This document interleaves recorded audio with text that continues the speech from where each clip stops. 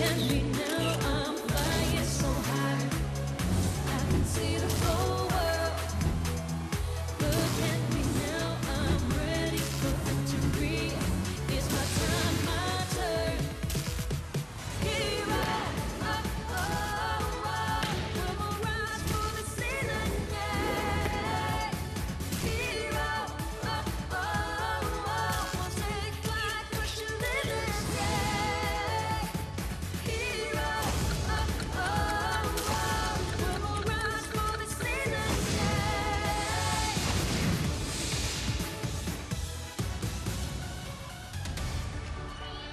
classroom straight to the volleyball court here at the Phil Oil Eco Oil Center sa napakagandang lungsod ng San Juan.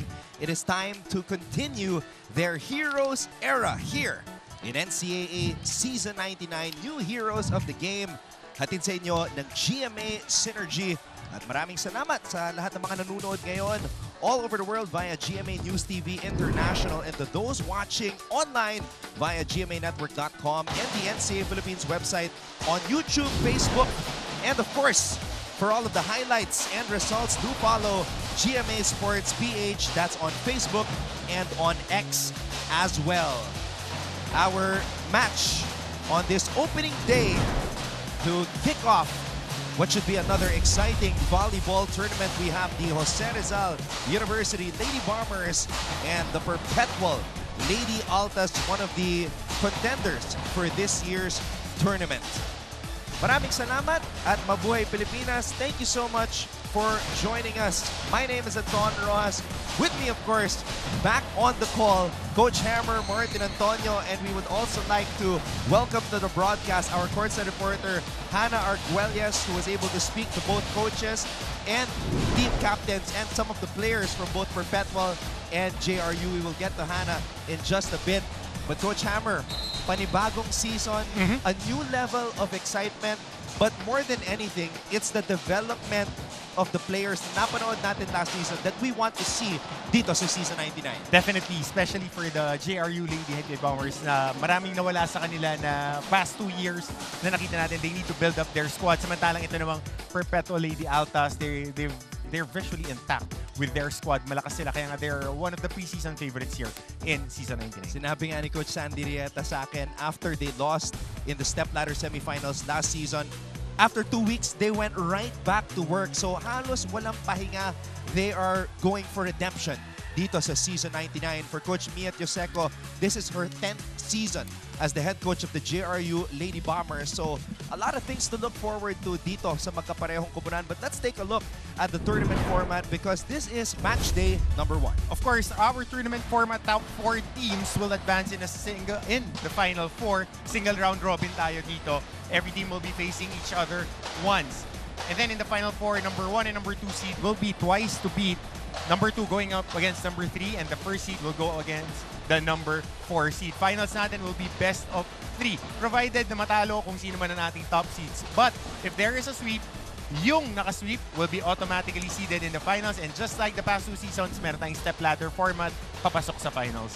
And it is important that we stress itong outright finals Oo. berth kung makakasweep because that is what the Benilde Lady Blazers have done in the past two seasons here in the NCAA. Now we talk about the teams na maghaharap ngayon ng JRU Lady Bombers. It was a tough season, 98 for them as they only won one match and that was against EAC, a five-set match. As I mentioned earlier, Mia Dioseco pa rin ang kanilang head coach. May Ruiz is now the team captain, graduating, playing in her final season. At ito yung mga key holdovers, gaya ni Yanyan Alonia and Malay Amante that we're so excited because they're playing in their third year. Pero alam mo, Anton, ah, at least, despite Sid Niegos moving forward, their best blocker in the squad, Riza Rose, who was also one of their main focal points sa kanilang mga atake, andyan pa rin yung libero nila, si Alonia, who was very impressive in her freshman year. Now, Yep. entering her third year, meron siyang dalawang taon na maganda yung inilalaro despite having an injury-prone season last year. Mula beach volleyball papunta sa season, ang dami niyang mga injuries. And si Inday Laurente, who is their setter for the past few seasons din na nakita natin, at least may stability. Ngayon, ang hahanapin na lang nila, saan manggagaling yung mga puntos. Two seasons ago, Dolly Versosa, the Queen Bomber, led JRU to a third place finish. And one of the storylines this season is that she's back with the team with a new role as an assistant coach ni Coach Mia Tioseco. Well, that's uh, experience for you. Again, alam naman natin dito sa NCAA, almost 100 years na tayo umuwi at umuwi yung mga players natin. But if I was Coach Mia, I would rather see Dolly suiting up in the game dahil yung yun yung kailangan nila eh. Somebody who can score, somebody that can provide offense, and magaling sumalo ng first ball.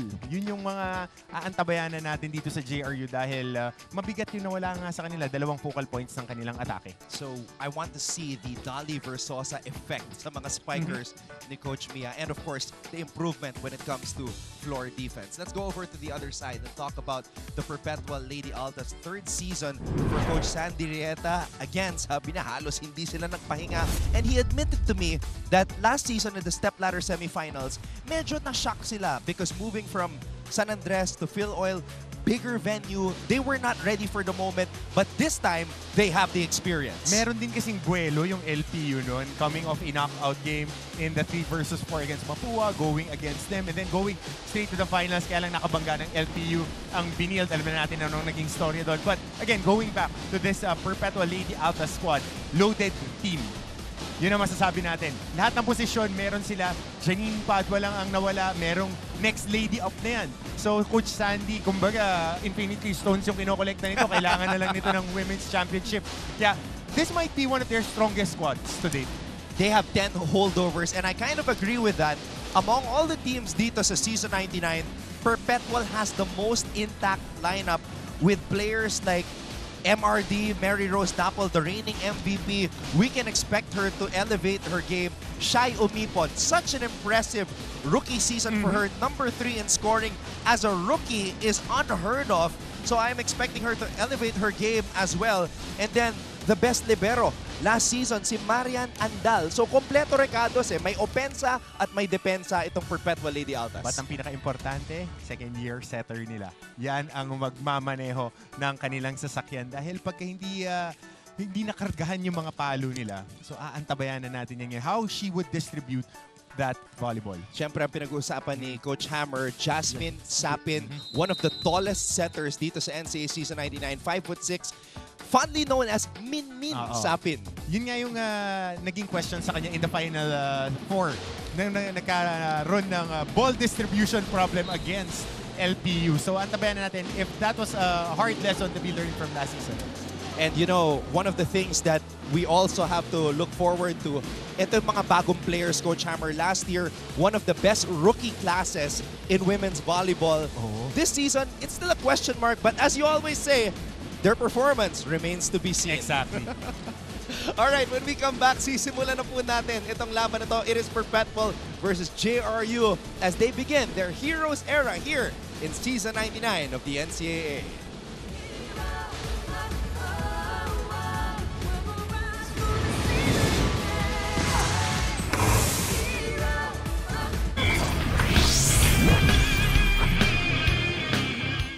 Bigong makapasok sa 2024 Paris Olympics si Tokyo Olympic gold medalist at Pinay weightlifter na si Heidelin Diaz.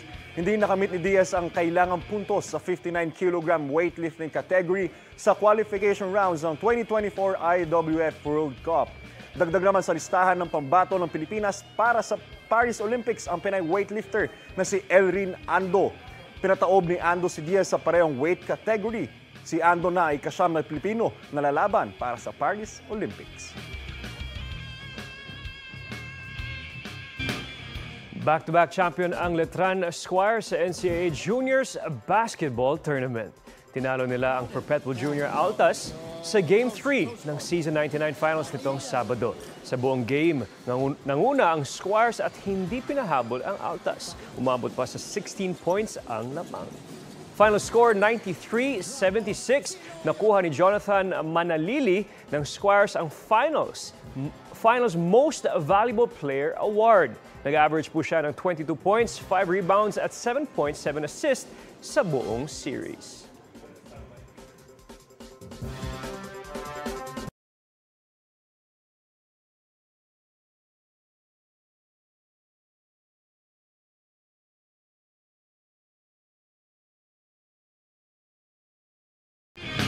Another good news mga kapuso, pasok na rin po sa 2024 Paris Olympics ang Pinoy weightlifter na si John Februar Seniza. Yan ay matapos siyang magwagi sa qualification tournament na 2024 IWF World Cup sa Thailand. Nakuha ni Seniza ang ikaapat na pwesto sa men's 61 kg weightlifting category. Siya ay kawalong dagdag sa pambato ng Pilipinas para sa 2024 Paris Olympics. Una nang nag-qualify sa 49 kg weightlifting category.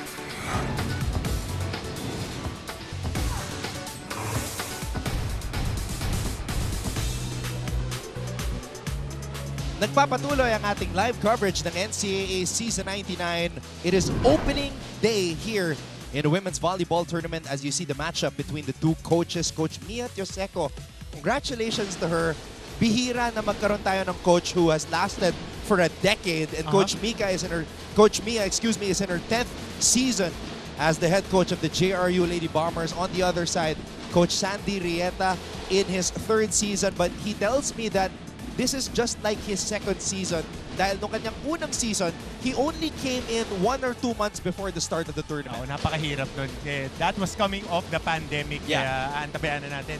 Kasi may build-up na siya eh. Yung programa ni Coach Sandy, alam natin na gumana na yan in the juniors Yep. para sa Junior Alta. So, meron at meron na siyang pagkukuhanan ng blueprint. Kumbaga, papunta rito sa women's tournament. And they were there last season. Nagkataon lang na banderang kapos yung nangyari. So I asked him before this match because uh, syempre, ang daming players, 10 holdovers. I asked him, sino sa mga bago mong players ang dapat natin tutukan? And he told me that their backup setter, who could actually also be his first setter, Fifi Ariola, wearing jersey number 6. Looking at her right now in terms of her her body type, ay ano, parang batak sa laro eh. She, she does not look like somebody who is going to be thrown into the fire for the first time. She looks ready. Alam mo, Anton, ah, kung kahit tignan mo sa kahit na anong event yung Perpetual Altas, nakita natin basketball, volleyball, sa track, lahat ng events, panay kondisyon yung mga player nila. Kaya hindi ka na magugulat. Pa, meron silang prototype eh. Kumukuha sila ng mga athletes. Nakita natin yan doon sa mga naglalaro sa kanila for the longest time, even in the men's volleyball team, pare-pareha sila ng peg. Athletic, lanky players. And we are looking at the Phil Oil Eco Oil Center dito sa lungsod ng San Juan. I miss this atmosphere, you know, Oo. the, the Taraflex. We're in volleyball season Yep. right now. Last time we were here, we were doing the juniors basketball finals. Excellent atmosphere for the Perpetualites. They made it to the finals. And now, ito naman, it's the ladies' turn to show what they can do dito sa harap ng ating mga NCAA fans. And with that uh, student body to support them all throughout the tournament, talagang uh, I think this would be the year for uh, the Altas to really stump their class. And you know what? You you can't be wrong with that statement because as you always say, if you want to be the man, you, have, to beat, the, man. Yun lang yan. Dito kayo, lady. All right, let's turn it over to the venue announcer para makilala mga starters dito sa Perpetual at JRU.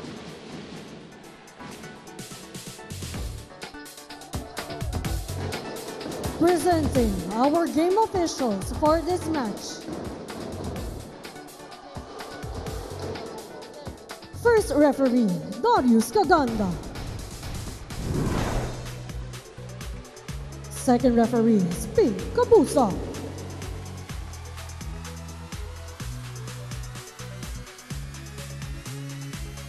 The action continues here at Phil Oil Eco Oil Flying V Center.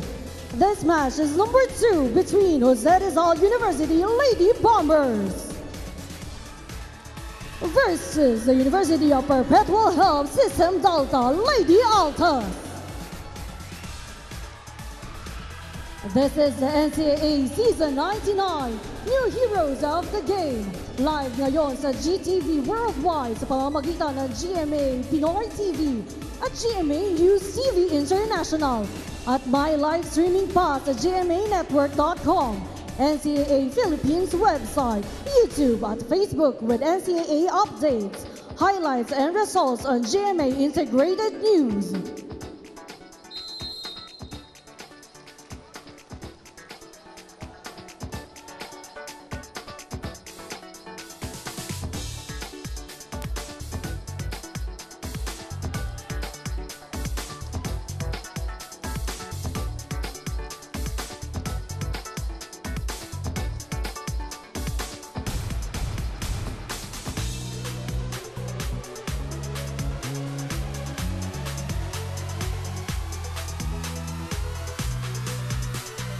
Now let us meet the starters of both teams. First off, Jose Rizal University Lady Bombers. Team captain at number one, opposite spiker, May Ruiz. Opposite spiker, number three, Carila Hazareno. Opposite hitter, Kyla Higuera. Setter number 12, Jerilyn Laurente. Middle blocker number 16, Gil Batara. Another middle blocker number 17, Pat Del Pilar. Starting libero at number 5, Marian Alonia. Head coach of the Lady Bombers, Mia Chiseco.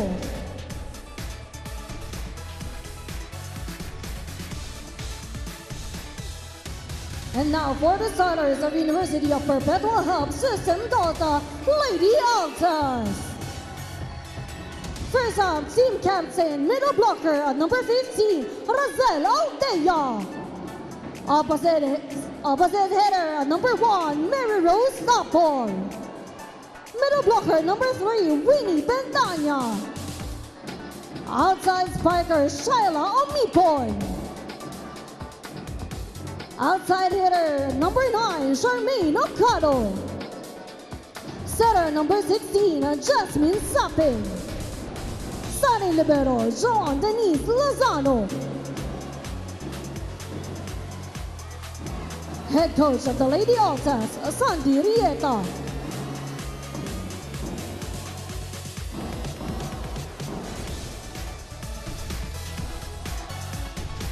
So my first thought when I was listening to the player introductions ng Perpetual, one word, all caps, lakas.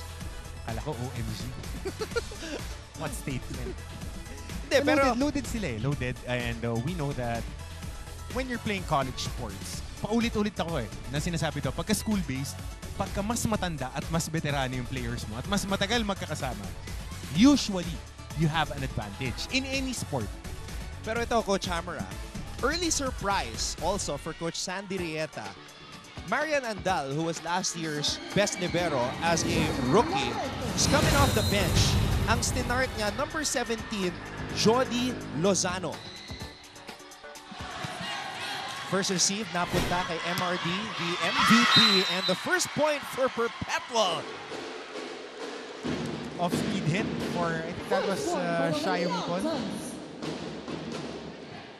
Medyo nagbago kasi yung angle natin ng uh, vantage point. Nasa floor seats na tayo ulit, Anton. eh. Mas mas preferred mo ba to? Baka yung mga cut shot. tama? Yeah, I actually like this vantage point, Uh-huh. lalo na if we're covering the team right now where JRU is, as we see the new team captain, May Ruiz from the opposite side, pounding it off the hands of the blockers. Much is uh, expected now from May Ruiz because she is leading a very young squad. Talking about the Heavy Bombers. Ang bata nitong team na to.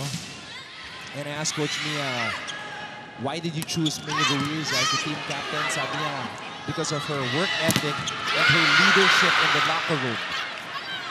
As it should. Good up. Cross court. Inday to Ruiz. Down the line hit does not work. Omipon was there. As a check. And Okado breaks down the wall. Hindi ganun kapino yung blocking dito ng JRU you would see on this replay. Now, on this shift, you know, bukas yung play, gitna, instead of closing that window, hands together, sweeping it on the net. I like how Min Min Sapin is is not tossing the ball right away to Mary Rose Dapple, but you know the points are gonna eh. come. MVP. I mean, if I was coaching and you don't bring it to the MVP, matinding film session yan sa susunod. If you were coaching volleyball, I would be very afraid. That's why I don't. Doon sa preparation side po pwede, but on the tactical side, alam mo naman ako pag mga tactical side. Yeah, yeah. Stick to the any strength and conditioning, yes, Coach exactly. Hammer. Del Pilar. Wow. Okay. Surprising Okay. on that uh, I think we have our first player to watch sa mga bago. She's a transferee. Itong si Pat Del Pilar. has length and uh, could gain a little bit more power as she adds more, a little bit muscle on that frame kasi matangkad, mahaba. And that's a good sign, knowing that JRU lost their captain and best middle blocker in Sid Niegos. And one of the more prolific scorers of their roster. There's the MVP, Mary Rose Dapol. I asked Coach Sandy Rieta, anong bago kay Daps? Sabi niya, may kulang na. Si MRD last season, he felt that it was all power, puro lakas. Ngayon, she added that kulang factor. So nakita mo kanina, yun nga, right on cue of speed hit. Just using yung pectus ng palo. Pero meron pa rin siyang baon. But she can always go back to what she's been known for, the power of the MVP, Mary Rose Dapol, soaring and scoring for the perpetual Lady Altas. So again, the blocking of JRU, which is understandable for a very young squad. Nakikita natin dahil eh, they are tossed into the action right away. But Last again, season, JRU was Ah. number four in blocking, coach. mechanics eh. Mechanics lang yan. And as you get through reps, that's when you would improve eh.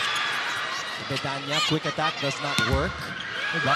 Blockers were there for the Lady Altas. Hasareno, popped up.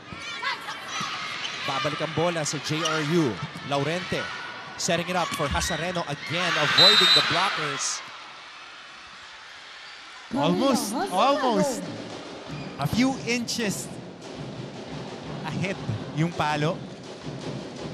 And uh, again, getting a point. You know, sa haba ng rally na yon, I got to see yung diskarte ni Hasareno and I think that's the Dolly Versosa effect na she changes up the way she spikes the Oo. volleyball. Wow. Winnie Winnie Bedanya showing some improved power right away, Coach Hammer. And ball control, ah. ball control on this hit. Kasi last season nakikita natin, alanganin yung mga may mga palo siya ng alanganin. Pero right now, going into that sweet spot, pagka right-handed hitter ka, syempre mas komportable ka on the left side of that Taraflex. Mas maganda yung arm action niya. Hasareno. Too much spice on that spike. Point for the Lady Altas. Mary Rose Dapol not only was the MVP, not only was she the first best outside spiker, she was also the best server. Even though walang best server award as uh, the NCAA has changed the names of the awards and they don't include the best server anymore. She was the best server as she tallied 32 service aces last year. All right, Perpetual is off to a strong start as expected. And when we come back, Hannah Arguelles will give us her first report. Don't go away.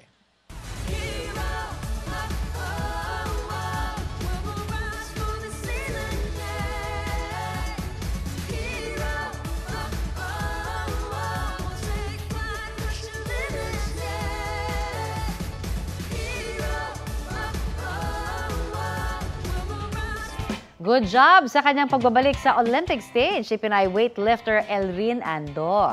Matapos po yan ang matagumpay niyang performance sa Women's 59 kg event ng 2024 IWF World Cup sa Phuket, Thailand.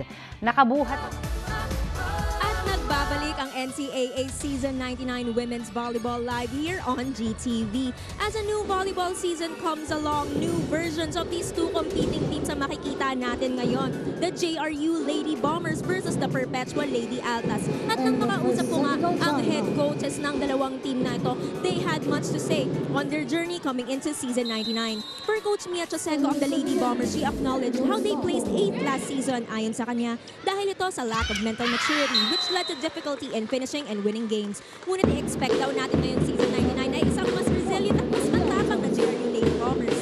Para naman kay Coach Sandy Rieta ng Lady Altas, naging learning lesson daw sa kanya. Placing second last season na dapat ay di makampante at di mawawala ang uhaw na manalo. Kaya expect daw a Lady Altas playing with more heart. Ayon nga sa kanila, maglaro na may pusong perpetual. Kaya tingnan natin, puso laban sa tapang. Sino ang magwawagi? Anton and Coach Hammer? Thank you very much, Hannah, for that very thorough report. Speaking to both coaches, dadagdag ko lang, Coach Sandy Rieta, ano yung nag-improve experience, maturity, and what Hannah mentioned, yung tapang ng mga players. Oo. Kailangan na kailangan nyo. Lalo na nung nagdidikdikan na in the Final Four last season, yung knockout game niya against LPU. Yeah. Sa dulo nagkatalo eh. Yung, ano eh, may mga teams na nananalo, gusto nila. Pero yung mga pumapasok na yung mga gustong-gusto, yung nakikipag-pitpitan na. You know, when I was watching that match, yung Perpetual and LPU, Perpetual did not look like themselves, Oo, coach. parang siya shock. Yeah. And aminado naman si Coach Sandy na na-shock sila sa pagbabago ng venue, the the atmosphere, Sa bigger ng, stage. sa dami ng nanonood. Oh, Hazareno getting a lot of attempts early on. And there she is again. Hazareno. Wow, I, I like the adjustment and how she was able to get an attack to go. And pati si sophomore, Shai Umipon, may gulang na rin. Kasi si Shai umipon last season, talagang lahat ng palo kargado lang eh. But now, nakita natin yung variety of hits na ginagawa nila. Arami nilang off-speed attacks. Nakakuha na sila ng apat na puntos coming off off-speed hits. Shai Umipon as a rookie, Coach Hammer, was averaging 17 points per match. Manipis. Manipis na production.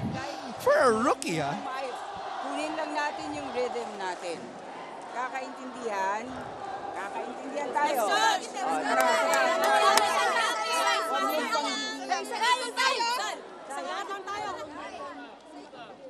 Coach Mia Tioseco, you hear her first huddle dito sa ating panibagong season. A multi-sport athlete during her heyday, volleyball and basketball, Coach Hammer.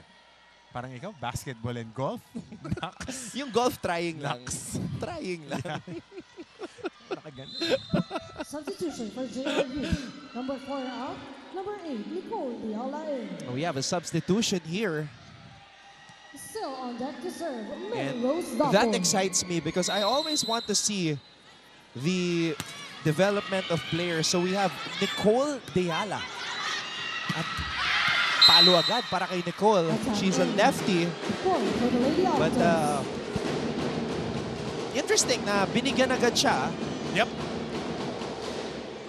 Kasi, alam mo, Anton, total unknown itong roster ng JRU. They lost a lot of players. They shuffled their roster.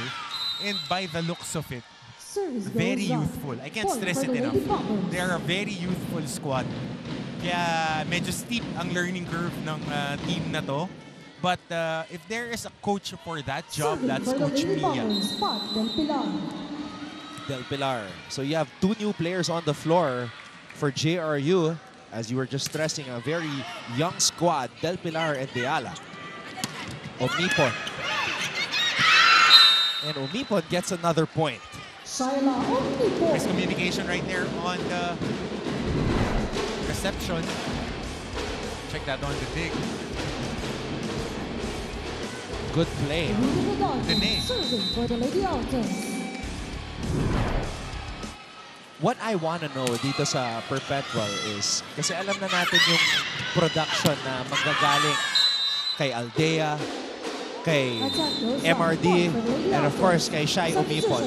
I want to know who will step up to try to support the usual Shai scorers. Alam mo, Anton, ah, when, when, when it comes to volleyball, you get four points from player A, another four, four points from player B.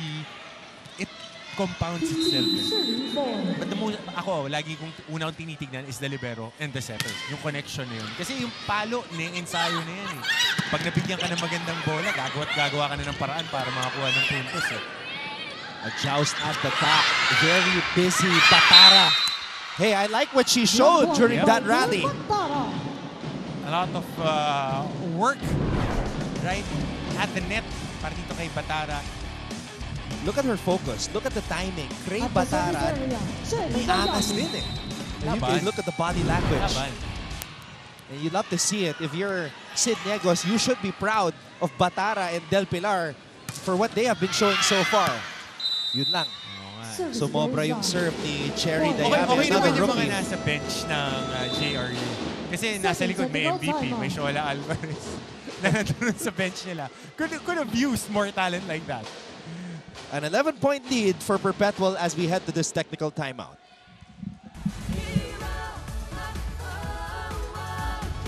Good job sa kanyang pagbabalik sa Olympic stage si Pinay weightlifter Elrin Ando. Matapos po yan ang matagumpay niyang performance sa women's 59 kilogram event ng 2024 IWF World Cup sa Phuket, Thailand. Nakabuhat siya ng total na 228 kilograms at nakakuha pa ng ikapitong pwesto. Naungusa ng 25-year-old Pinay weightlifter ang kapwa-atleta at Tokyo Olympics gold medalist na si Heidi Lindia sa parehong kategorya. Nakabu Coach Sandy Rieta, End of second technical time. third season 4-16 as the head coach of the Perpetual Five Lady Altas, but second full off season. Halos di daw sila nagpahinga, Coach Hammer. Eyes on the prize. Yeah. Very important, especially for build-ups and championship campaigns. Yung sakripisyo to really put in the time. Sila yung bata na team last year na may mga veterano to stabilize their squad. Pero ngayon, mas veterano na sila hoping that they would take that gigantic leap going to the finals. Wow. So the new girls from the JRU Lady Bombers showing some power. This is Shanine Preta. Wow. You, lo- you love to see it. Six new players, ginagamit agad ni Coach Mia Tioseco, and they're delivering so far. Yep. Hindi mo makikita kung diamonds talaga. Hagis mo agad sa apoy. Trial by fire agad. Para makita mo if they would uh, fight or fold. Day. Quick attack for Preta. Okado. Laurente, kanino siya pupunta? Preta, avoiding the blockers. Not over. A little bit uh, behind yung set na yun for sa Tocado. Oo, Okado. Okado. On this. uh, I'm starting to see that Sapin is trying to activate Okado. I, I would say majority of the sets have gone to her. Silang dalawa ni Umipon. pang third and fourth set yung Dapol. Kasi nangyari yung pala, yun lang. First touch ng Gigel. Si Ka Kapitana. Right So, on the middle. That's two straight points for the Lady Bombers. I think Aldea will be a crucial component also for Perpetual this season. Exactly. Exactly. We, we've been hyping her since season 97 and we really want to see her excel. Dahil uh, may uh, PSA, athletic, matangkad. Dapol, when in doubt, you go to her. You go to the MVP. Melrose Ready, Mark? On that hit. If Razel Aldea can level up her game to that of a Mitch Gamit, Perpetual will pose a problem to all teams. But of course, everybody's gunning for the Benil Lady Blazers. And you need Aldea when you're going up against those tall ladies. I just saw Regina Rocha walk into the venue. Arellano's not playing today, but uh, Regina's here. It was good to see uh, one of the NCAA women's volleyball greats come in and take in a, take in a match. Regine? Three o dalawa lang? Na champion. I hate it when you do this, Coach Hammer, because you know I don't have my notes with me all the time. You know, I, I, I don't want to guess, my friend. but uh, let's take a look at this combination play. Mary Rose Dapol putting it away. Fifi Ariola in. Number 16 out. Eto Number na yung 10, inaabangan ko. Trisha Cordero in. Sabi ni Coach Sandy, minsan pwede niyang gawing first setter si Fifi. Ariola. Rookie. There she is. I want to see how different her setting style is as compared to Sapin's. And we get to see it for the first time. Good hit. One of more impressive attacks here in the first set for the Jerry Lady Bombers. Laurente placing that volleyball right on the sweet spot. cut shot, and uh, maximizing that space. Cherry Dayame, the lefty. Kanina, kakapasok lang. First ball, first toss, napunta sa kanya. Oh! Okay. Miscommunication. That's a point for JRU. Probably some opening Yep. match jitters for the rookie, Fifi Ariola. Just the hardest game to play, Anton. ah. I remember The I first had- one. I had a few opening game days. Where you drank too much pre-workout. I know, man. I, I remember playing against JRU in one opening game. Played around 18 minutes, fouled out. Four of them offensive fouls. Too much energy. Oo, totoo. Jitters eh. Dapol. Wow. Okay ito ah. Okay itong uh, Dayami, Preta, and Dehala. Meron ah. Meron silang... uh, they have pieces. They have pieces. You know who's also been good? Jody Lozano, the libero of Perpetua, who That's started in the place of Agda. That's why she has minutes. But yeah, the, the young ones of JRU are showing a lot of spirit. Uh-huh. And that's what you want. You want them to be competitive. You want them to be... You want them there. Area. Dalin mo lang sa 12 rounds. Pagka dumating ka sa 12 rounds, anybody's ball game na yan. Naalala ko tuloy si ano, Inigo eh. Favorite natin yan. Bata natin yan. Sa juniors basketball. Inigo. Torres. Let's take a look at this The spike right here. First excellent setup job by Fifi Ariola. That's gotta feel good for the rookie. So, lapit lang naman eh. So, unahan natin. I- iniintay mong paluin bago ka mag-move. Hindi. Unahan mo para naka-establish yung block natin. Ayos tayo, okay?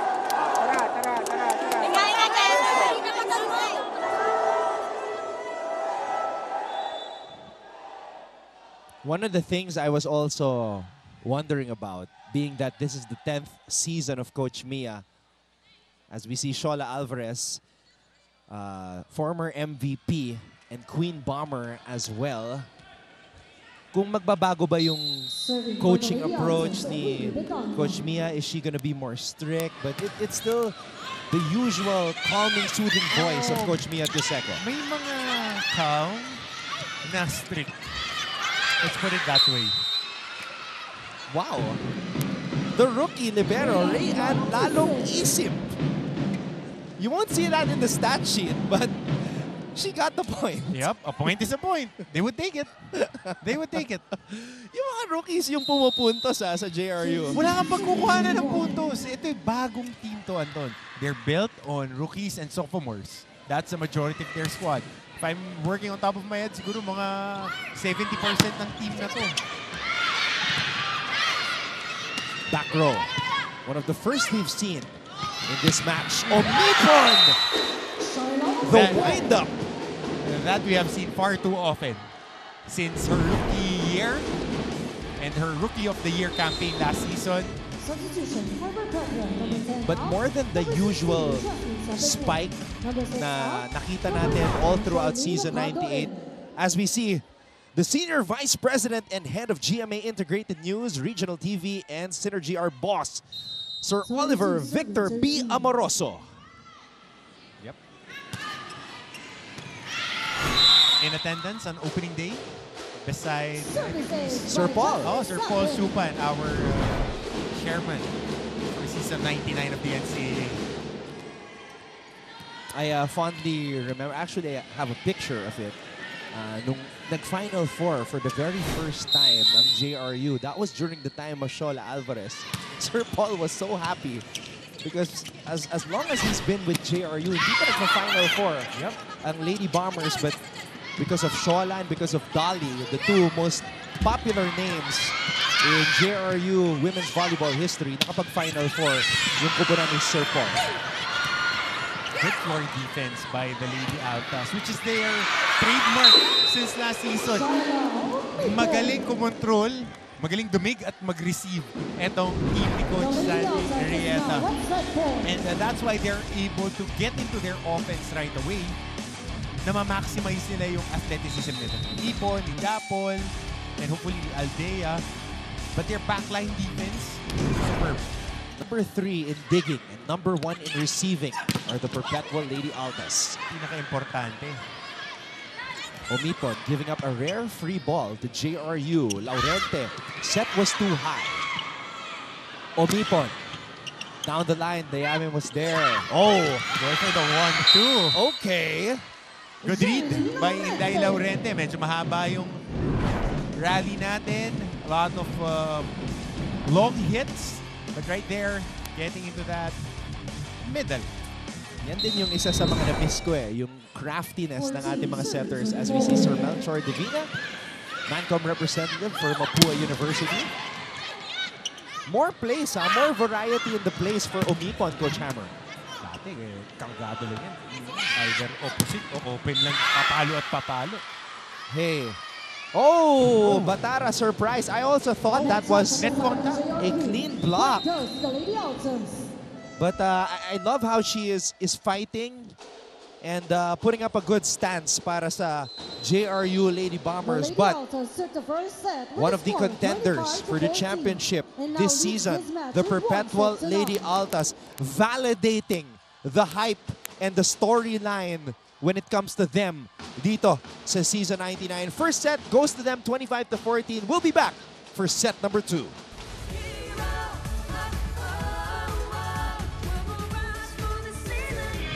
Another good news mga kapuso, pasok na rin po sa 2024 Paris Olympics ang Pinoy weightlifter na si John February Seniza. Yan ay matapos siyang magwagi sa qualification tournament na 2024 IWF World Cup sa Thailand. Nakuha ni Seniza ang ikaapat na pwesto sa men's 61 kg weightlifting category. Siya ay kawalong dagdag sa pambato ng Pilipinas para sa 2024 Paris Olympics. Una nang nag-qualify sa 49 kg weightlifting category si Rosie G. Ramos. Makakasama nila sa Paris Olympics sila EJ Obiena, Carlos Yulo, Alea Finegan, Yumir Marshall, Nesty Petesio at Ira Villegas.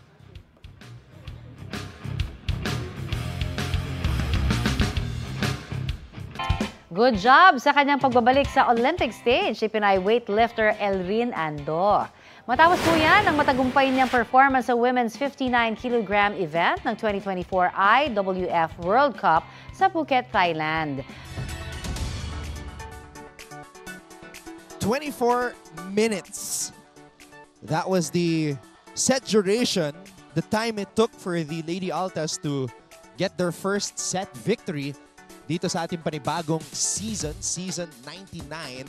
At maraming salamat sa lahat ng mga nanonood ngayon as we take a look at some of the highlights of that opening set. Para sa'yo, Coach Hammer, what impressed you the most? Number one that impressed me the most is the consistency of the floor defense ng Lady Altas. Nakita natin, uh, I can't stress it enough. If you can control that first ball, if you can withstand the attacks from the backline, maganda ang itatakbo mo dahil meron kang setter na marunong mag-distribute ng bola. That's number one. Sa kabila naman, number two, on JRU, hindi sila takot. Laban yung mga bata. So that's a very good indication that no matter who are they competing against, they're ready to play and uh, they would take the bumps and bruises along the road but they would keep on keeping on dito sa larong to. and Cray Patara, the middle blocker for JRU wearing jersey number 16. You love to see the fight na kanyang pinapakita. Oh, tsaka siya lang yung matangkad nila. Siya lang halos yung matangkad nila Siya nakikipagpakbakan. at si Del Pilar. Oo, pero Actually, two, two very tall middle blockers, Coach Hammer. So, Tsaka length. Mahaba yung length nila. and, and two fighters as well. Let's take a look at the numbers right here. So, if you're gonna nitpick dito sa Perpetual Lady Altas, you gotta limit the Yep. errors. Unforced errors. May malaking circle yan pag nakuha ni Coach Sandy tong kanilang scorecard when it comes to that first set. Walong puntos yung ibinigay mo eh. If you can limit that to 50%, it could have been uh, a 20-minute set. Yan ang tinitignan ng mga coaches eh. Kasi you want to get in and out like take out. Mabilis ka lang dapat dyan pagka mga kaya mo yung teams, you have to take care of business right away. And we are underway here in set number two. Maraming salamat sa inyong panonood. Tom Ross alongside Coach Hammer Martin Antonio. And working the sidelines at courtside, we have Hannah Arguelles. You know, we have been raving about the young middle blockers. At yun nga, no more Sid Niego's biggest loss for JRU this season, but uh, these girls making her proud. Laban yung bata. Laban, ha? Tsaka mataas yung work rate niya. Kanina nabanggit natin na siya talaga yung challenge and moving side to side. And finally, the team captain, Rachel Aldea, getting a quick attack to go. Pabuntong hininga sa, parang sa wakas. Pumasok din. Kasi nanggigigil siya eh. Nakita natin first two middle, ah, first two quick sets na binigay sa kanya, nag-error. At the service area, So uh, Aldea, second straight season as the team captain of the Lady Altas. And an ace by Shai Omnipon. Now, I think if there's one area for improvement para kay Shai, it's her service. Last season, out of her 153 points, labing dalawa lang yung service points, service aces. What more if she can really add a layer to her uh, offensive arsenal? Kasi ang game ni Umipon is uh, really built on power. Power player, power hitter siya. Parang kahit kargahan mo ng tatlong blocker, babasagin at babasagin niya. She would try. Nabanggit nga ni Coach Sandy that she is trying to improve on her game. She wants to be more finesse. Be a little bit more finesse on her game. And it would affect, syempre, yung mga pagpalo niya sa service. Magta-translate yan. Sapin activating Aldea dito sa pagsisimula ng set number 2. Dapol down the line. Coverage is there. Omnipon was there. Dapol again. Okay, that's good floor defense and net defense as well for the JRU Lady Bombers. One of the longest rallies of the match. Uh, they are able to put the ball up despite the pressure being Attack applied by goes. Dapol. Yep. For the Lady Altas. And in that rally, uh, Dapol had three attacks that they were able to contain. But again, an error on their attack gives a point to the Lady Altas. One of the things that I'm noticing all also, also sa JRU, remember when uh, Alonia was playing heavy, heavy minutes? Oo. Now may rotation siya. Silang dalawa ni Lalong Isip, the rookie. Si, si, si Alonia, putok na yung kilay. Naglalaro pa the, maglalaro pa the following game. Eh. Remember that? Na, kaya, battle din Bruce din. Talaga siya season 19. Present Aldea. Remember we would watch her sa beach volleyball and, and like yung cuts niya kitang-kita sa sun. One of the most conditioned players that we've seen dito sa NCAA. Palitan eh. Pag, pag hindi kasi makondisyon, ewan ko na lang. Bedanya. Lifting. Ah, double Double contact on the side of the Lady Altas. Point goes to the Lady Bombers.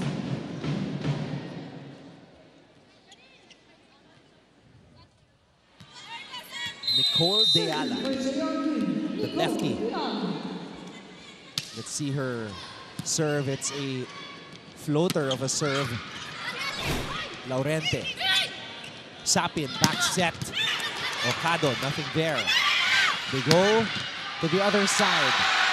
Dapol Oh, sacrificing her body. Si Coach Sandy napatayo eh. Sinasabi niya, pabayaan mo na yun. pabayaan. Mahaba pang season. Oo. Kasi this was a, a great hustle play. Coming off a very nice cross-court hit. Hinabol pa ni Dapol.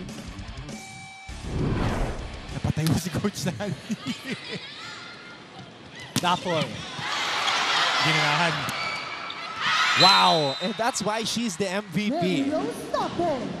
the creativity, the non-stop focus.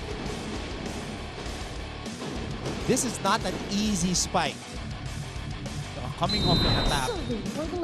Resetting. And then attacking right away off that first ball. Laurente, back set. Sapit. To Bintana. And that's what they need to do. a whole lot more against JRU. Kasi nakikita nga natin, si Batara lang yung talagang Gina G pagdating sa blocking. So, kailangan i-maximize mo kasi meron kang mga matatangkad na frontline players. Si Aldea, itong si uh, Medalla. Bedanya. So, kailangan puntahan mo ng puntahan. Pagurin mo yung kabila. High flyer din si Deala. ah.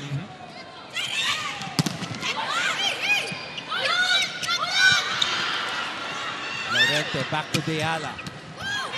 Oh, yung pumalo. They are ah. making the Perpetualites work, Coach Hammer. Oh, ho, ho! But again- Medalla, regalo. Winnie Pitana. Hindi naman niya birthday, pero may regalo sa gitna over that.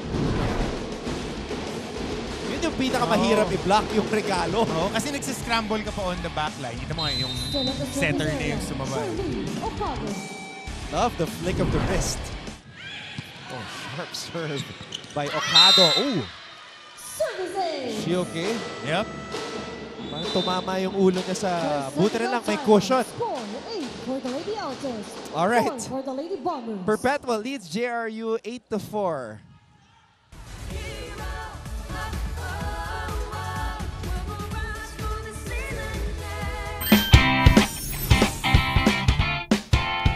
Good job ang isang Pinay weightlifter na nag-qualify sa 2024 Paris Olympics. Si Rosie Ramos na ang ikapitong pambato ng Pilipinas sa Paris. Nakuha niyang slot matapos manalo sa women's 49 kg category sa Olympic qualifying tournament ng International Weightlifting Federation sa Phuket, Thailand. Tubong Zamboanga City ang 20-year-old weightlifter na pinsan ng Olympic gold medalist na si Heidelin Diaz. At nagbabalik ang NCAA Season 99 Women's Volleyball Live here on GTV. Now, with the perpetual Lady Altas doing in favor here the first set, this puts a subtle pressure on the backs of the JRU Lady Bombers. Kaya naman paalala ng coach nila na si Coach Mia Choseco, this is nothing new. We do this every day sa training kaya ayusin natin. For the perpetual side naman, na-mention nyo nga kanina Anton and Coach Hammer ang kapitana ng Lady Altas and how much untapped potential she has. Mukhang in the off-season, she recognized that and made sure to tap into it. Mas maigi daw talaga siyang nag-ensayo it, at itong Queen Altas at pinush ang kanyang physical and mental strength to possibly show a Razel Aldea 2.0. Now, let's see how things turned out in this set. Will they end up reflecting last season or will things take a turn for the unexpected? Anton and Coach Hammer? Thank you very much, Hannah. You know, when, when you're the team captain for the second straight season, there is that pressure to repay the trust that the coach has given to you. And playing in your final season, that's what Razel Aldea is trying to do. And obviously to graduate as a champion. Yep, that's what she wants. That's what the team wants. But uh, hindi lahat ng gusto natin, nakukuha natin, pero pwede nating pagtrabahuhan. Yan lang naman ang sasabihin ni Coach Sandy. Lahat gusto yan eh. Lahat gusto mag-champion, especially on their last year. But are you willing? And uh, with the report of Hannah, yun yung ginawa niya throughout the off-season. Sakit naman ng linya yun. Totoo naman kasi. Masakit talaga yung totoo. Lahat gusto mag-champion. Pero at the end of the day, sa sampung team, isa lang. Dahil tayo ngayon sa NC. Diba? Isa lang ang mag-champion dyan. So, kailangan gustong-gusto mo. You know, one player that has uh, impressed me also from the GRU side is Camille Bustamante. Number 11 seems like a player also kind of like in the mold of a Dolly Versosa. Yun, nga, yun yung pick High naman nila. flyer, s- has power. Gusto ko makita kung mga freshman ba tong mga to, mga frosh pa. Kasi nakikita mo may athleticism. eh. So ako, with uh, with my uh, field of work, pag tinitignan ko, may mga trainable traits ba sila na kaya mo pang iangat yung floor ng team? Meron eh. So pag mga bata pa tong mga to, okay yung recruiting class na to ni Coach Mia. Actually meant uh, si Cherry Dayame, number 11 from the JRU side. Rookie daw talaga. Ang, ang, ang true rookies ni Coach Mia, Dayame, Deyala, Lalong Isip, and one of the reserves si Ramos, pero transferee si Del Pilar at si Preta. Yeah. So meron at meron. Dayame. Deyala. Not over.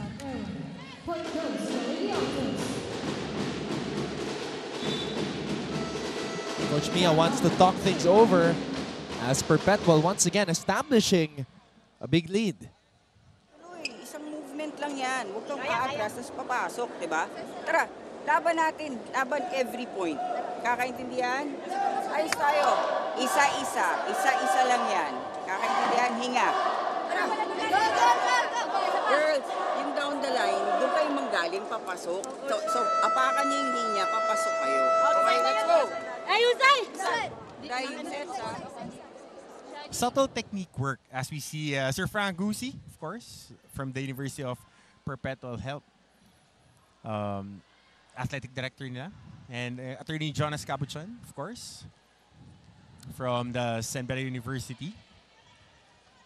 There you go. Oo, kasi eh, hindi ko pwede makalimutan, makalimutan yan. baka, baka suplex city ako ni Attorney Jones, so ganun kita ko sa tapat.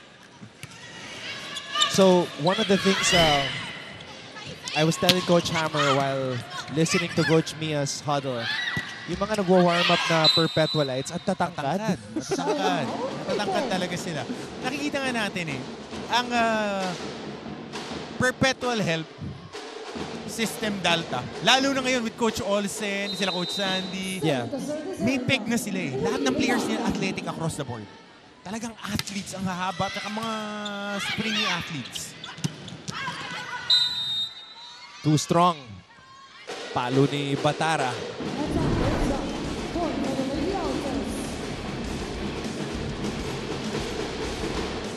Okay din tong Batara. I think she's on her second or third year, I'm not mistaken, because she was there last season, sparingly used. Because of Sid Niegos, who Oo. plays pretty much the entire game. Kaya, ang pahinga lang nun, technical timeout. Yeah, she's a sophomore. Aha. Si Kring Batara. So you, you have pieces. You have pieces here that you can work with. And ang kagandahan dito sa team ng ah, as early as now, they're a tough out because they're competing. They're really competing. Kahit hindi mo nakikita on the scoreboard, they're they're giving you a high work rate and that's what you want to see as a coach. And really, as of this moment, though, Perpetual's biggest opponent is themselves with the number of unforced errors that they are committing. Number 11 out. Count that as opening day jitters by their partner. Uh-huh. We give it to them.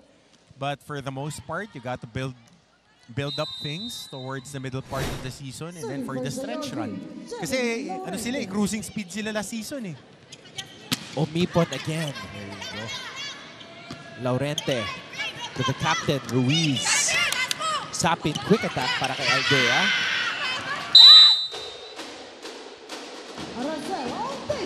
And that's another point for Perpetual as we head to another technical timeout with the Lady Altas leading Four. JRU Three for the 16 Lady to 7 Altas. here in set number 2. Seven for the Lady Bombers.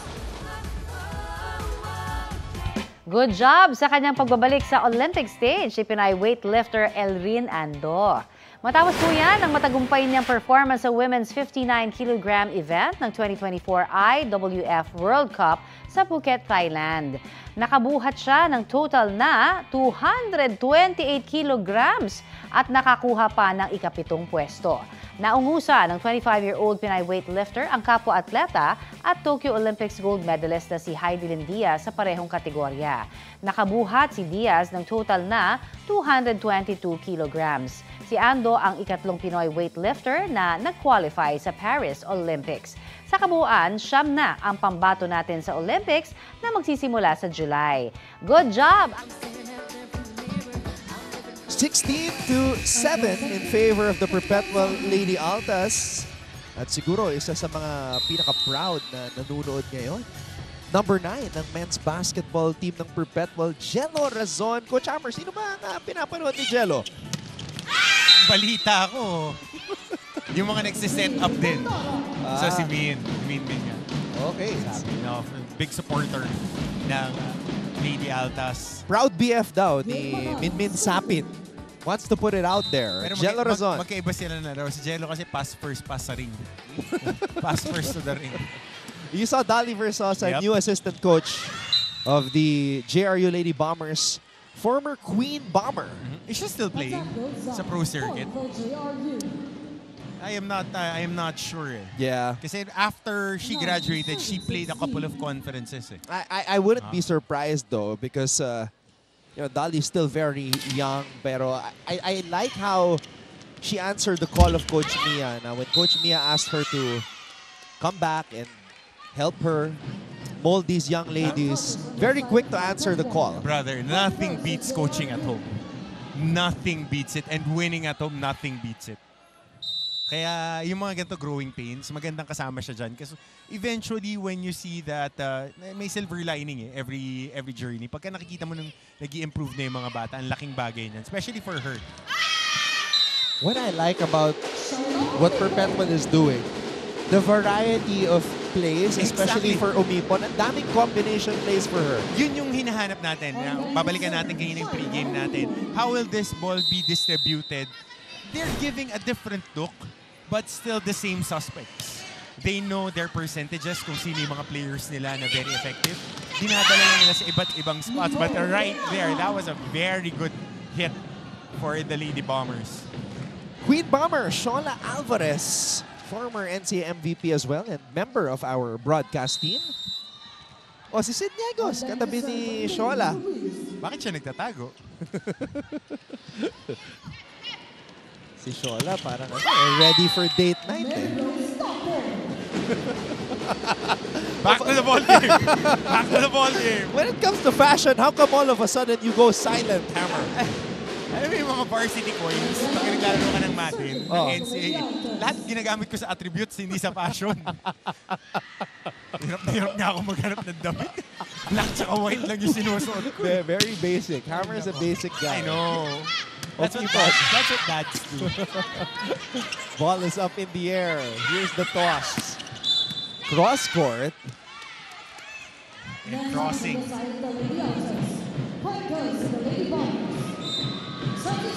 Touches pala. Number 17 now. Number 7. Jen in. Nicole Deala. One of six rookies. I like the way she plays. ah. I like the way that she is playing. But this girl has been playing well today. Talking about Winnie Bedania. And in the second set, she already has three of those quick attacks. Substitution for the You know, I would say, ah, Winnie six, Bedania is one of the more underrated players in the league, Coach quiet, Hammer. very quiet. Just go about, goes about her business. Very effective on the middle. Tsaka matangkad na middle blocker to. Because Perpetual's got two players in the top three in scoring in Omipon and Dapol. Ang sumunod na na-score nila, si Bedania. But she's ranked 29th. So top heavy talaga yung scoring nila eh. Dahil double digit scorer parehas. High teens itong si Nipon and on the 20s si Dapol. Dapol getting the point. So we can see na Bedania still looking for that consistency, Coach Yeah. Hammer. There are times when the timing is not there, kaya hindi masyadong baon yung palo. Oh, tsaka But if she can remember, develop it, She's working with the second setter right now. uh-huh. Si uh, Fifi. Fifi. Pagka nan- kanina kay uh, Min Min na two times two times yung mga pangalan pa ng setters nito. Oo. eh, mas maganda yung bigay sa kanya ng bola. But right there, getting another point si Bedania. Very impressive in the opening day itong si Bedania. Now I can see why Coach Sandy told me na minsan sinastart niya itong si Ariola. She's got skills.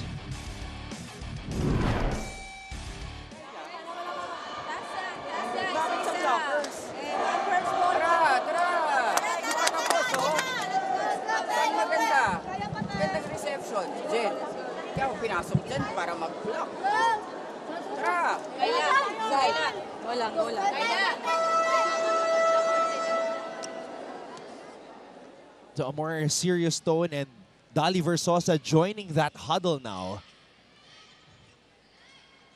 There, the coaching staff for the JRU mm-hmm. Lady Bombers. Ngayon, hawak pa lang yung clipboard at saka yung marker. Tingin mo, by the middle of the season, kumukrokis na yan. So we are seeing the rookie setter, Fifi Ariola. Can you imagine if uh, they stick together all throughout their time in the NCAA? Magandang, ano yan, tandem yan, first and second setter. Yeah. Ni Minmin at ni Fifi. Pero alam mo, Coach Hammer, this year, tama ka eh. This has to be the year for the Perpetual Lady Altas because Aldea's graduating, Dapol is graduating, Okado is graduating, Cordero is also graduating. So, this has to be it. This has to be the year, Coach Hammer. Boost mo na.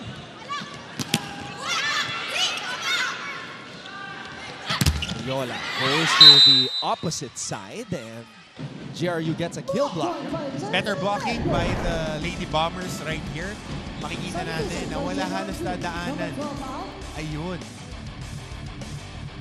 Number Strip right there by Hasanero. Jen Number Silverio. Number six, Sizzle Rosario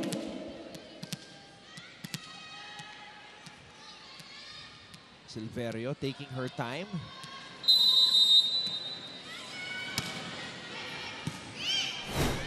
Ariola to Enrico. Ariola goes to Dapo. Down the line. She makes it look so easy. The MVP. Oo, parang may dalang metro sa bulsa. Lahat ng palo, sukat na sukat. Ang hirap niya nito na yung off a back set, going down the line with your momentum, bringing you to the other sideline, getting into that zone number two. Yun lang. The That's really the only thing that's hurting the Perpetual Lady Altas now. Errors. Huge lead established by the Lady Altas.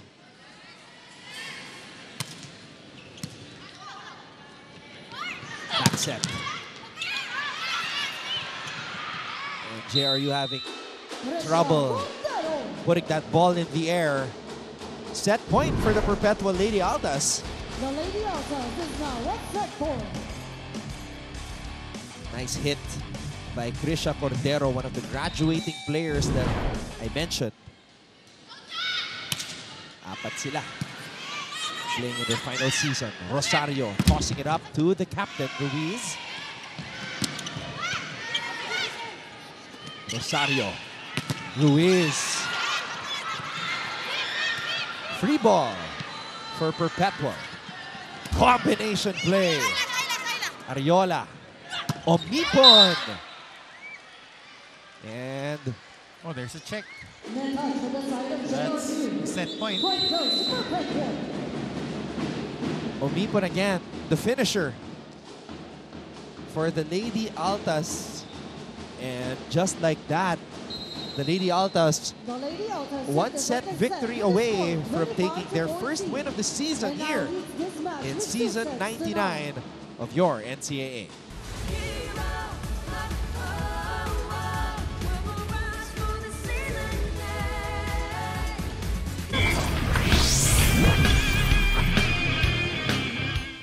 Bigong makapasok sa 2024 Paris Olympics si Tokyo Olympic gold medalist at Pinay weightlifter na si Heidelin Diaz.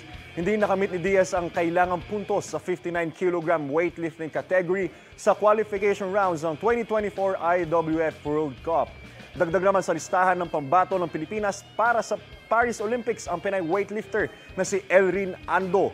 Pinataob ni Ando si Diaz sa parehong weight category. Si Ando na ay kasyam na Pilipino na lalaban para sa Paris Olympics. Back-to-back champion ang Letran Squires sa NCAA Juniors Basketball Tournament. Tinalo nila ang Perpetual Junior Altas sa Game 3 ng Season 99 Finals nitong Sabado. Sa buong game, nangun- nanguna ang Squires at hindi pinahabol ang Altas. Umabot pa sa 16 points ang lamang. Final score, 93 25 to 14 set victories for the Perpetual Lady Altas and they did it in the same amount of time as well. So pretty much uh, Consistent. the usual for the Perpetual Lady Autas as we take a look at the highlights of set number two. Dito naman, Coach Hammer, what stood out to you? Well, better variations when it comes to the sets na tinatakbo para rito sa kupunan ng Lady Altas. We mentioned it throughout the coverage na meron silang mga packages na tinatakbo na paiba-iba. Siguro kaya din ginagamit ni Coach Sandy si uh, Fifi. Palitan sila ni Minmin.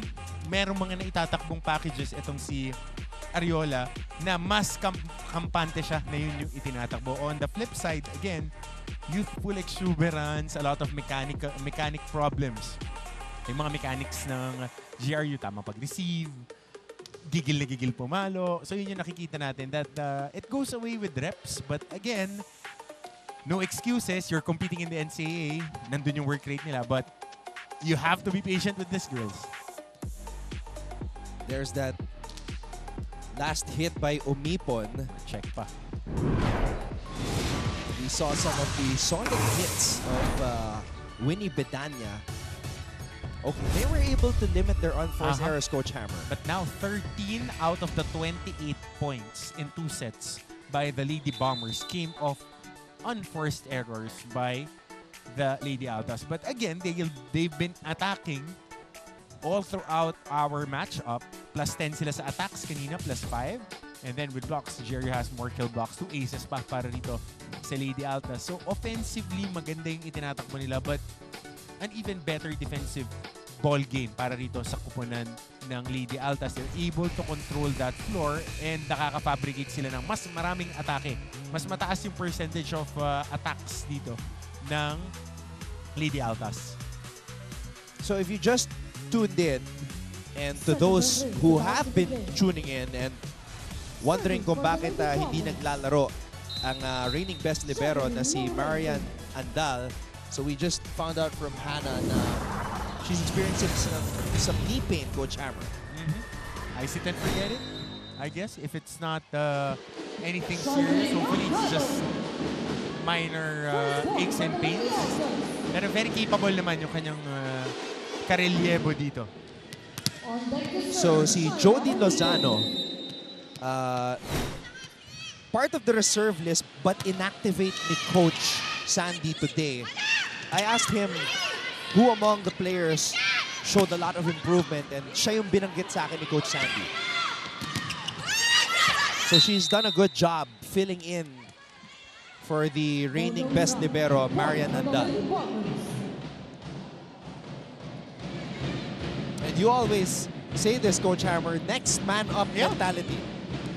Gagraduate. I mean, it happens. eh. Players graduate, players get injured. Players might have a bad game. Sino yung mga susunod? Sino yung nakapila behind them? Ako, I could only speak through experience. I've seen it in uh, teams losing players through the transfer portal and then the players going pro. But at the end of the day, if you build a winning culture, championships will come. The wins will come and uh, you need to develop your players. Yun yung ginagawa ngayon dito ni Coach Sandy na nabigyan ng pagkakataon, nasa reserve list, na-activate. So you have to be ready. And again, ang rules natin dito sa NCAA as we see the reigning best libero, Marian Andal. She won that award as a rookie last season. So we pray for a speedy recovery. But ang maganda dito, at least she's in uniform. Yeah. So it's it's not that serious of an injury. Probably just doing this for precaution. And it helps for their squad din na mas lalalim yung rotation nila. Malaking bagay yan eh. Kasi nga, if you're using that next man up mentality, para maging ready yung naka-back up sa'yo, kailangan yan ng game reps. As we see another uh, point here for the Lady Altas. For the MVP, Mary Rose Dapol. Nazareno.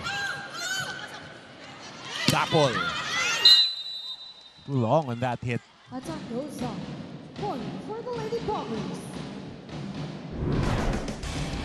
let's take a look at it one more time. I think she was experimenting on that, on that uh, aerial attack. Well, you have the luxury of testing out some moves in game when you have a huge lead, as we see Winnie Bedanya on a running attack. A little variation here. I think that runner right at the middle of that fence. And you love how Sapin's style of play, nothing flashy about Oh, it. solid, solid. Just Eliminate very, errors. very simple and effective. Sapin. To Omipon! Wow! Lahat busog. Oo, kasi nabibigyan lahat ng bola. Dinala niya kay Vidania, Dapol, and Umipon. So alam na natin yung pecking order ngayon eh. Ang ah, pagka, sa simula, it's Umipon that they want to activate. Dapol will be consistent, paambon-ambon. And then si Vidania, Aldea, and then on the home stretch, you bring it to the MVP. Omipon from being the rookie of the year to looking like a super sophomore now. Pat del Pilar. O siya na magmamana niyan eh. Pagka-graduate na to nila Mayor Rose Dapol. Sapin. Bedanya with a little bit of a delayed attack. Omipon wants it, gets it. Receivers were there. The diggers were there. And Omipon breaks down the wall. A lot of load on that hit para dito kay Shai Umipon. Ito, give and go action. Get that dig. O sige, ikaw naman bala. And. Nakargado talaga pumalo. Kargado talaga pumalo. Combination play for JRU. Sapin. First drop ball attempt. Oh, good, good, good. Attack right there. Perfect ball placement by Inday Laurente. I think that's the second time that they were able to execute that quick play on the middle, right in front of the defender para kay Patara. I think this is the best start for a set para sa JRU here in this match. Dumidikit sa Perpetual. Omipon.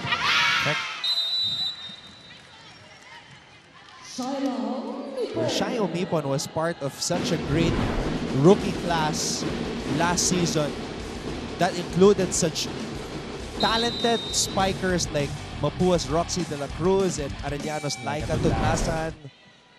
That was a strong batch. I, I wanna see bakit nasa reserve lang si Tudlasan. I That's- think she, she got injured siguro. That's also what I was Oo, wondering about ako eh, nung nakita ko yung lineup. But si Alaika, oh, miscommunication there on the reception. Nawalan ng signal yung depensa ng GRU. Two straight points for the Lady Altas. When we come back, Hannah Arguelles will provide us with a courtside update. Don't go away. Good job sa kanyang pagbabalik sa Olympic stage si Pinay weightlifter Elrin Ando. Matapos po yan ang matagumpay niyang performance sa women's 59 kilogram event ng 2024 IWF World Cup sa Phuket, Thailand. Nakabuhat siya ng total na 228 kilograms at nakakuha pa ng ikapitong pwesto. Naungusa ng 25-year-old Pinay weightlifter ang kapwa-atleta at Tokyo Olympics gold medalist na si Heidelin Diaz sa parehong kategorya. Nakabuhat si Diaz At nagbabalik ang NCAA Season 99 Women's Volleyball Live here on GTV. At nakausap ko nga kanina ang former Queen Bomber na si Dolly Versosa who now carries the name of JRU in a different way.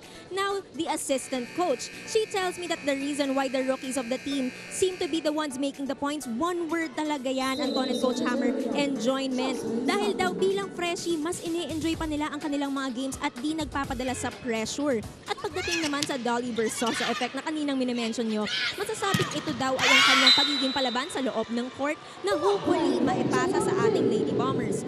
Now, for the perpetual side, these winning sets aren't coming easy for them with the opposing team putting up a fight. Paalala ni Coach Sandy Rieta, huwag pabayaan ang depensa at huwag magsasawa until the 25 points is achieved. With how things are going, do you think that the Dolly Versosa effect is enough to turn the game in their favor? Anton and Coach Hammer.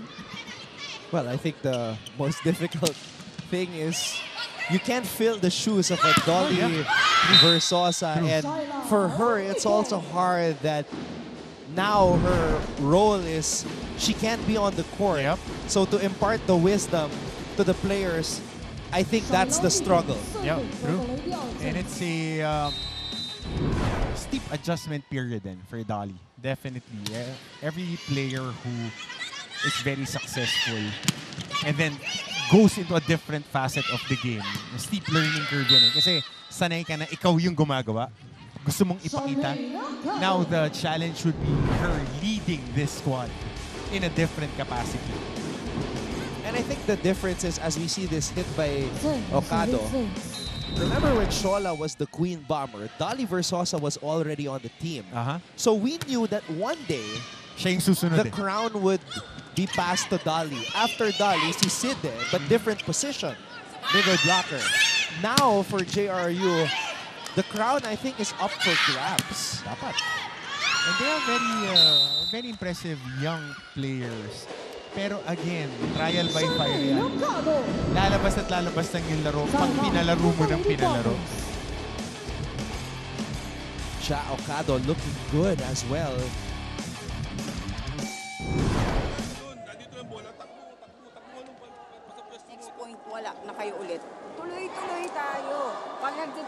Tayo, tuloy-tuloy ginagawa natin. Tama? Oh, tara! Tara, tara! Oh, isa-isa, isa-isa.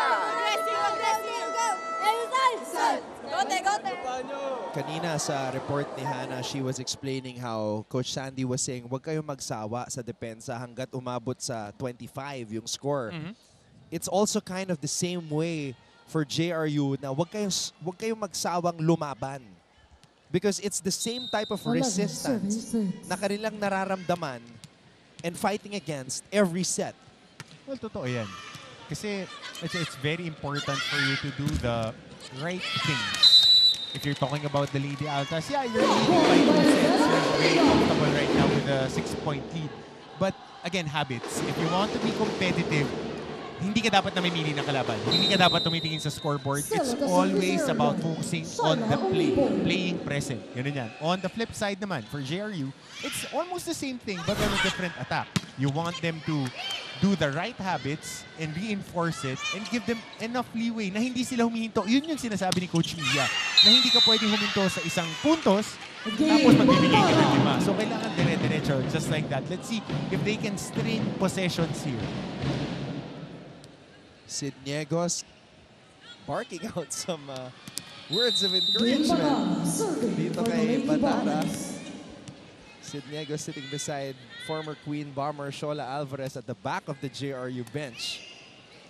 So you love to see it when uh, former players and team captains come back. I'm sure they, they miss this type of experience and opportunity so much. Tapol. Hasareno. This is going to be a free ball for Perpetual, and that's not a good thing for the Heavy Bombers. An automatic right there. was Aldea. Kita mo na eh, nung binanggit mo na malambot yung angat, free ball. Tapos nasa harap ni Aldea and uh, Sapin with enough room for her to work with. Laking bagay. Easy as one, two, three. Pass, set, and spike. As Coach Hammer always says, ganun lang kasimple. Simple lang. Basic lang. Kailangan basic lang. And now it's gonna be a free ball for JRU. Binalik agad ni Laurente. Inday to Del Pilar. Good save by Okado. Dapol. Wow. I'm still amazed at how she's able to get that ball over the net. Sapin. Running attack para kay Bedanya. Will she get the check? Yes, she will. That's a check ball. Oh, very impressed with the way that she's been playing. Talking about Bedanya, hinahanap natin sino ang mag-provide ng additional na puntos dito. Sinubukan yung running hit, pilipit na palo, dinala sa kabila, nakuha pa yung puntos. Dr. Lorenzo Lorenzo of Emilio Aguinaldo College. Good read by the Perpetualites. Bedanya with a kill block right there. Back-to-back points. Para kay uh, Bedanya.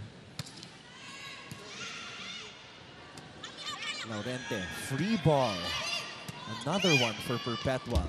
Dapol. Nauna yung lundag sa talon. Nakasilip na, paparating pa lang yung bola. Kaya pinanshot na lang niya. May Ruiz May Ruiz. at the service line. Sapin to Dapol. Mm. Easy does it for Mary Rose Dapol, the reigning MVP, and she puts Perpetual on top. timeout. 16 to 8 as we head to another technical timeout. Eight for the Lady Bombers.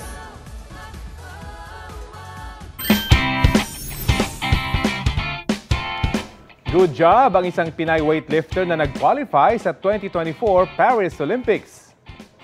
Si Rosie Ramos na ang ikapitong pambato ng Pilipinas sa Paris. Nakuha niyang slot matapos manalo sa women's 49 kg category sa Olympic qualifying tournament ng International Weightlifting Federation sa Phuket, Thailand. Tubong Zamboanga City ang 20-year-old weightlifter na pinsan ng Olympic gold medalist na si Heidelin Diaz. Makakasama niyang lalaban para So in the earlier match, Benilde, they experienced a little bit of resistance in the third set, but still coming up with a sweep against EAC. And that juggernaut End of of uh, a program the past two years, stomping their class, just doing work. Saka kompleto pa rin yung squad nila. Gunning for that three-peat, coming off two season sweeps. Establishing uh, well, what they want to establish as a dynasty. Dynasty. Dynasty. That's a good one, Coach Hammer. Pag dalawa, you can't call it a dynasty yet, no? Hindi pa, back to back pa lang. Mataas yung standard na iniwan ng Michael Jordan. Kaya ng mga. Kobe Bryant, repeat eh. Number 17 out. Number 7, Jen Silverio in. Pero grabe, ano? 30-match winning streak ng Benil Lady Yep. Blazers. Can you imagine? They won 30 straight matches. And that's doing work. The last time that they lost was January 29, 2019 against Perpetual when they were eliminated in the Final Four. So, been a while. At saka mahaba-habang isipan yun kasi dumaan sa pandemic. Oo.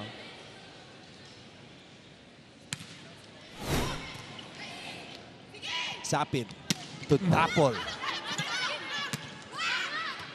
I, I know, and, and it's hard to say also, because every time you suit up, players are expected to go 100. But feeling ko itong si Dapol, I mean, from where we're sitting, even though we're watching live, Cruise control. hindi pa ito yung ano eh, isang daang porsyento eh. Kailangan cruise control ka lang.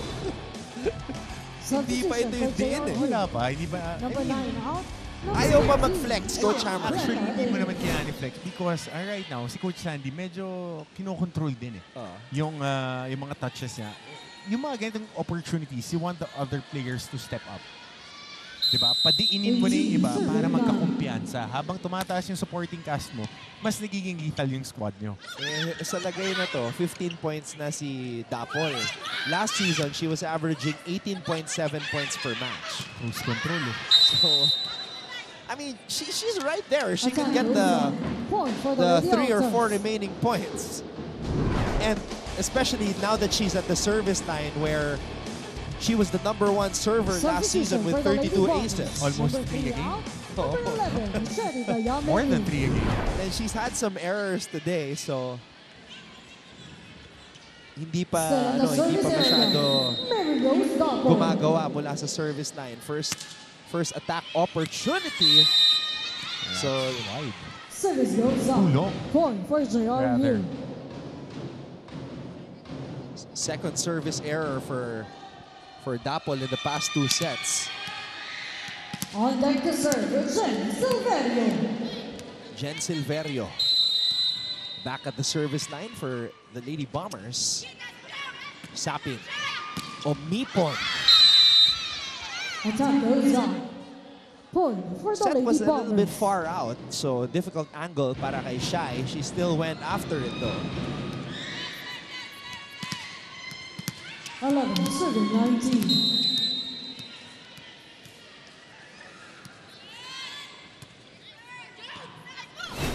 Sapin. Back row attack para kay MRD. And Dayame is able to break down the wall. Double on the side of Perpetual. It's gotta feel good for the goes rookie. to JRU. Sherry Dayame. Okay to ah. Okay, ako, ako okay itong mga rookies nila. Lalo na 11, 8. Looking at them right now, they, they seem like a very, very young bunch. Shiloh Nicole.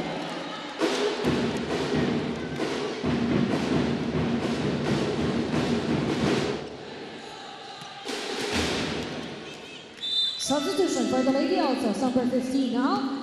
Si Number 14, Laurente na John naman, si. Batara yung mga holdovers. Eh. I Uh, think the si Laurente na lang yung kasama dun sa Final 14. Willie Gadana, serving. So you've got four new additions to this JRU lineup on the floor. Patara with some power. There is Shola and Dolly, the two Queen Bombers, the two greatest players in JRU women's volleyball history. Uh-huh. You can say that because they were Sherry Dayami, serving winningest, for if we may say, di ba? Dahil sila yung nag-lead sa Final Four. That's the, the Queen's row. Sapin. So that's a good hit by John Enrico. Enrico. Okay yung laro ni sabi niya na very basic. Yeah. Not, uh, nothing flashy. A few back sets na na-convert nila. But for the most part, porsyentuhan ng laban. eh. Okay? Tingnan mo kung saan siya nakatapat. Tapatan mo yung talon ng spiker dito. Binibitawan mo and Pring, kung titingnan mo, hahabulin mo ano. Kita naman eh. Okay? Pag wala, hindi sila nakahabol, kayo na nakadepensa doon. Ititingnan lang naman ninyo. Okay? Tara, tara! Ayusay! Tara, tara!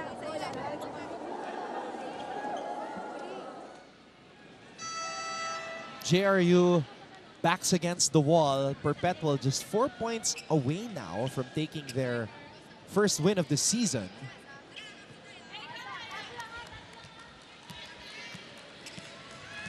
I like how uh, Shola and Sid are just in the back munching. Enjoying. Looking like Kelsey Plum or Plume watching a game. Hindi pa rin ginagamit yung ano, Walker na surname. Point goes to Perpetual. Ah, di ba? Husband niya, yung Still at the was tight end of the New. York Giants. Jasmine Sapin. Oh, nga, no? That's uh, that's an adjustment. jersey sales, no? Oh, good thing she's okay. So, well, all I can say is hats off to the perpetual players. Kanina kinabahan si Coach Sandy kasi hinabol pa ni Dapol yung bola. Ina-ensayo nila yan, Anton. Ina-ensayo nila. Kumbaga sa ibang athletes landing, sila landing and rolling. Ano kasi, may, may resounding thud. Parang WrestleMania. May hangover ka ba kanina? Nanalo naman si Tribal Chief na kasi pakainan boss eh. Kailangan suotin natin yung mga NWO shirts natin ha. You gotta get clearance for that though. Kailangan. Kuhanan ko kayo ng shirt. Ayaw ko payagan ni Aral eh. so, Oh, too wide on that spike by Omipon. mamadali nagigil eh. Si Shai.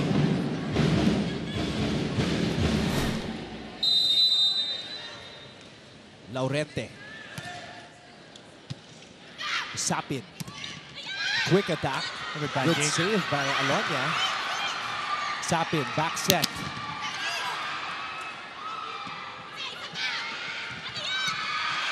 And if you're hearing uh, the crowd come alive, mga JRU, Rizalians po yan. And there is actually a men's match that's going to happen after, After? this. So if you want to check it out, come down here to the Phil Oil Eco Oil Center in San Juan. Saka intact din tong uh, Heavy Bombers, no? Intact yung team nila, tapos defending champs kalaban nila.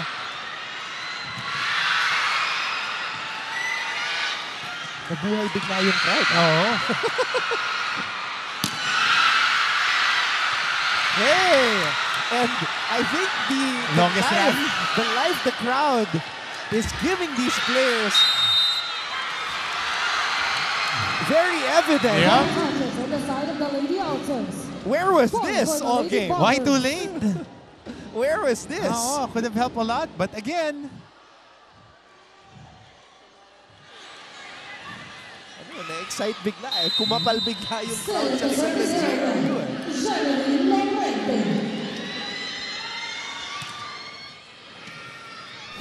Sapin. Oh, what a save by Alonia. Blockers were there for a perpetual. so walang coverage yung blockers dahil nakuha niya niyan yung bola. Ganda nung uh, pag-pop niya rito. Then popping right back and trying to be block support right there. So yung tutulong dun sa tumutulong dun sa mga blocker ang nawala. Kaya nabutas yung gitna. Oh, nobody home. Breta finding the corner. Sabreta.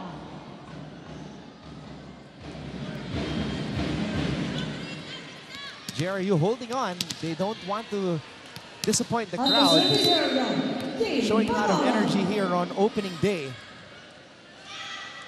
Batara.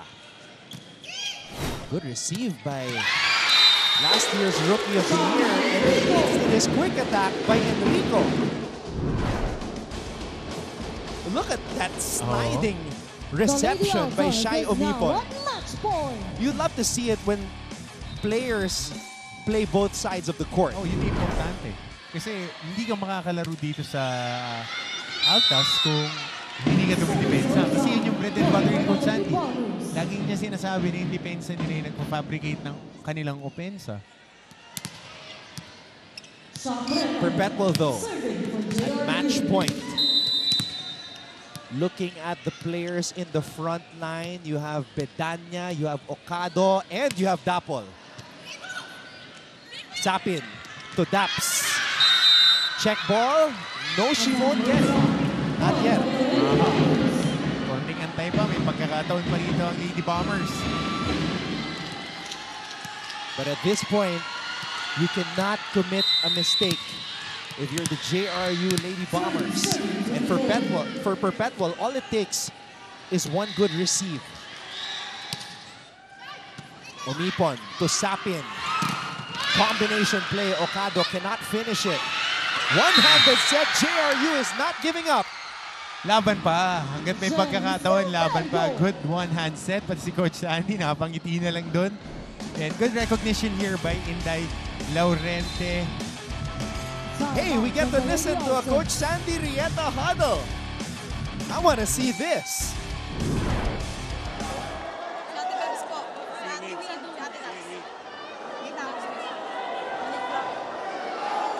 O bilang tayo simple B3. 5-4. O 5. Simple lang tayo. Pasa, pasa, ha? Pasa, pasa, pasa. Pasa lang.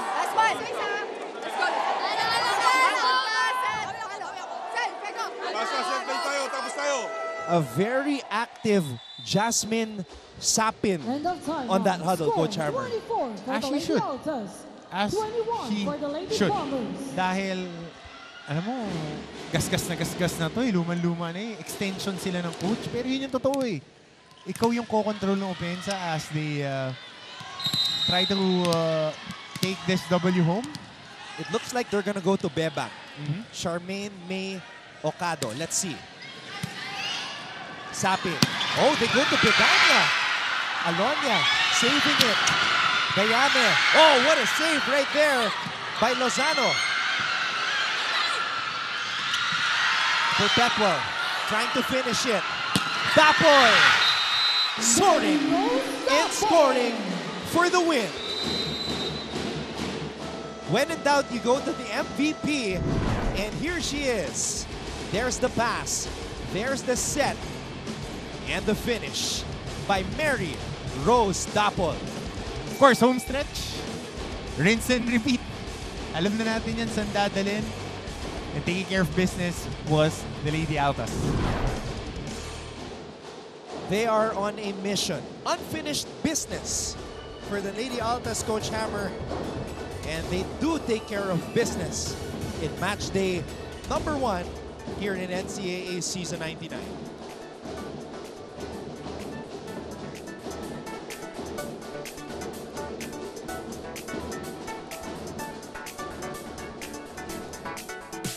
All players from both teams, please stand by for the singing of your respective school hymns.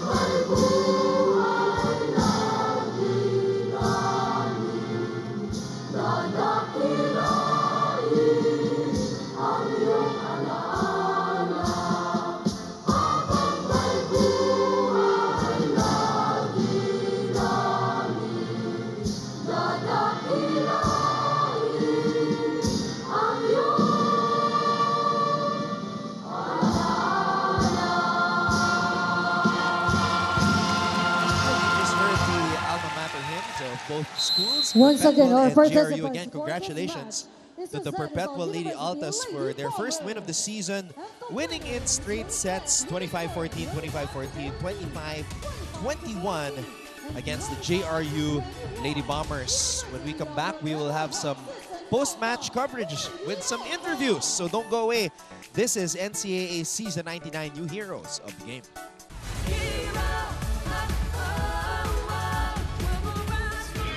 Another good news mga kapuso, pasok na rin po sa 2024 Paris Olympics ang Pinoy weightlifter na si John Februar Seniza. Yan ay matapos siyang magwagi sa qualification tournament na 2024 IWF World Cup sa Thailand. Nakuha ni Seniza ang ikaapat na pwesto sa men's 61 kg weightlifting category. Siya ay kawalong dagdag sa pambato ng Pilipinas para sa 2024 Paris Olympics. Una nang nag-qualify sa 49 kg weightlifting category si Rosie G. Ramos. Makakasama nila sa Paris Olympics sila EJ Obiana, Carlos Yulo, Alea Finegan, Yumir Marshall, Nesty Petesio at Ira Villegas.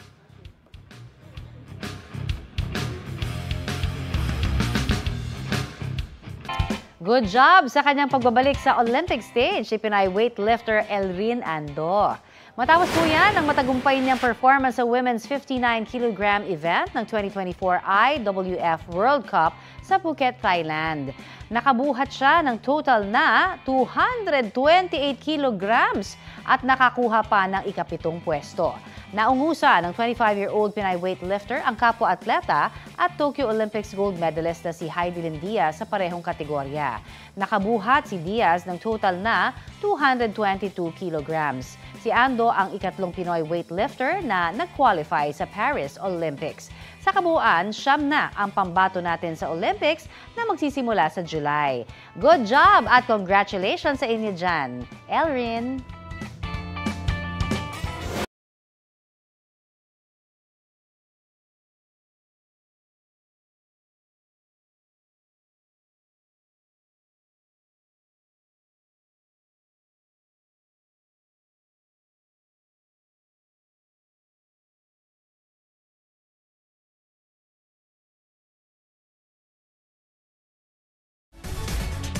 Papatuloy ang ating live coverage ng NCAA Season 99. Again, congratulations to the Perpetual Lady Altas notching their first win of the tournament against JRU, winning in straight sets 25-14, 25-14, 25-21. At ngayon, kasama po namin ni Coach Hammer Martin Antonio, winning coach in his third season but his second full season with a full off-season pero hindi masyadong nakapagpahinga. Coach Sandy, kanina nag-usap tayo sa locker room right after losing in the stepladder semis last year. Halos two weeks lang yung break. After that, it was back to work. Ganun talaga eh. Ah, hindi pwedeng magpahinga ng matagal. Baka maglusugan yung mga player natin. No? Lalo na pag babae, medyo medyo madaling lumusog eh. Mhm. Coach, tatlong bagay nung tinanong kita ah, what improved for Perpetual. You said experience, maturity, at yung tapang. Mhm. From what you saw today, do you think those three things were on display dito sa inyong unang panalo? Yes, oo. Nakita ko naman yung improvement doon sa tatlong sinabi ko.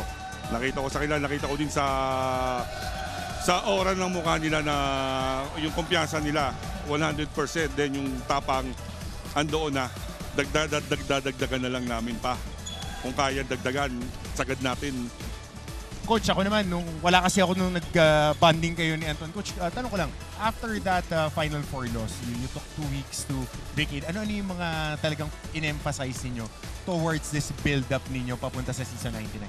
yung yung kulang namin as a as a team and then yung individual nila medyo nag-focus kami doon sa sa tingin ko naman ah, yung skills naman nila at yung ibang ano meron eh parang yun nga yung katulad sinabi ko kay Sir Anton kanina na kailangan dagdagan natin yung tapang, yung puso, yung puso pa para lakihin natin yung puso nyo para para yung kumpiyansa nila eh, ganun kataas. Coach Sandy, alam natin na dito sa Perpetual, gagawa si Mary Rose Dapol at gagawa si Shai Umipon. Last season, they were number one and number three pagdating sa scoring. Tanong namin ni Coach Hammer earlier, sino yung pangatlong scorer nyo dito sa Perpetual? Who do you expect na mag-step up at tumulong dun sa dalawa? Lahat yan, yung, ah, yung anim na nasa loob, lahat yan, na expected ko na tutulong sila dun sa dalawa. Minsan nga, mas ano eh, mas mas mas maganda yung performance nila.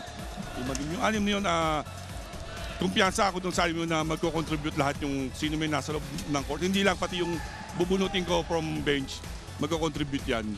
Coach, hanga rin ako dun sa kumpiyansa na binigay ninyo dun sa inyong libero. Marian Andal, medyo may iniinda. Mm. Sabi kanina dun sa interview, binigyan nyo ng pagkakataon yung rookie nyong ah, libero. Maganda yung inilaro niya in Yes, this game. oo. Ano yan, talagang ah, kumpiyansa ako dyan na medyo na, na nadagdagan namin yung focus sa training sa kanya kasi nga, syempre, siya talaga yung gagamitin namin yun. Sa sa tingin ko, magka-level na sila ni Marian ngayon eh. I- i-clip natin yun. Oo, hindi, hindi. Totoo, totoo. Magka-level na sila. Kaya siguro eh, ah, bago mag-game, yung ang decision ko na lang, magdadasal muna ako ng sign kung sino sa kanila yung Yeah, game gagamitin time ko. decision. Oo. Coach, ah, kanina napansin din namin ni Anton, ang ganda ng floor defense niyo. Last season, top 3 na kayo eh. Mas dumiin pa ngayon. Kung pwedeng hindi rin ganun kaganda yung mga palo ng JRU, pero maganda yung idinidepensa niyo. Coach, mas nag-focus ba kayo dito? Kasi nung Final Four, yun yung naging problema. Yes, tama yan. Mas nag-focus kami dyan. Kumbaga, sa training, nasa 80% floor defense kami. Then yung 20, yun yung, yung, yung offense naman namin sa taas. Kasi, yung offense meron na sila eh.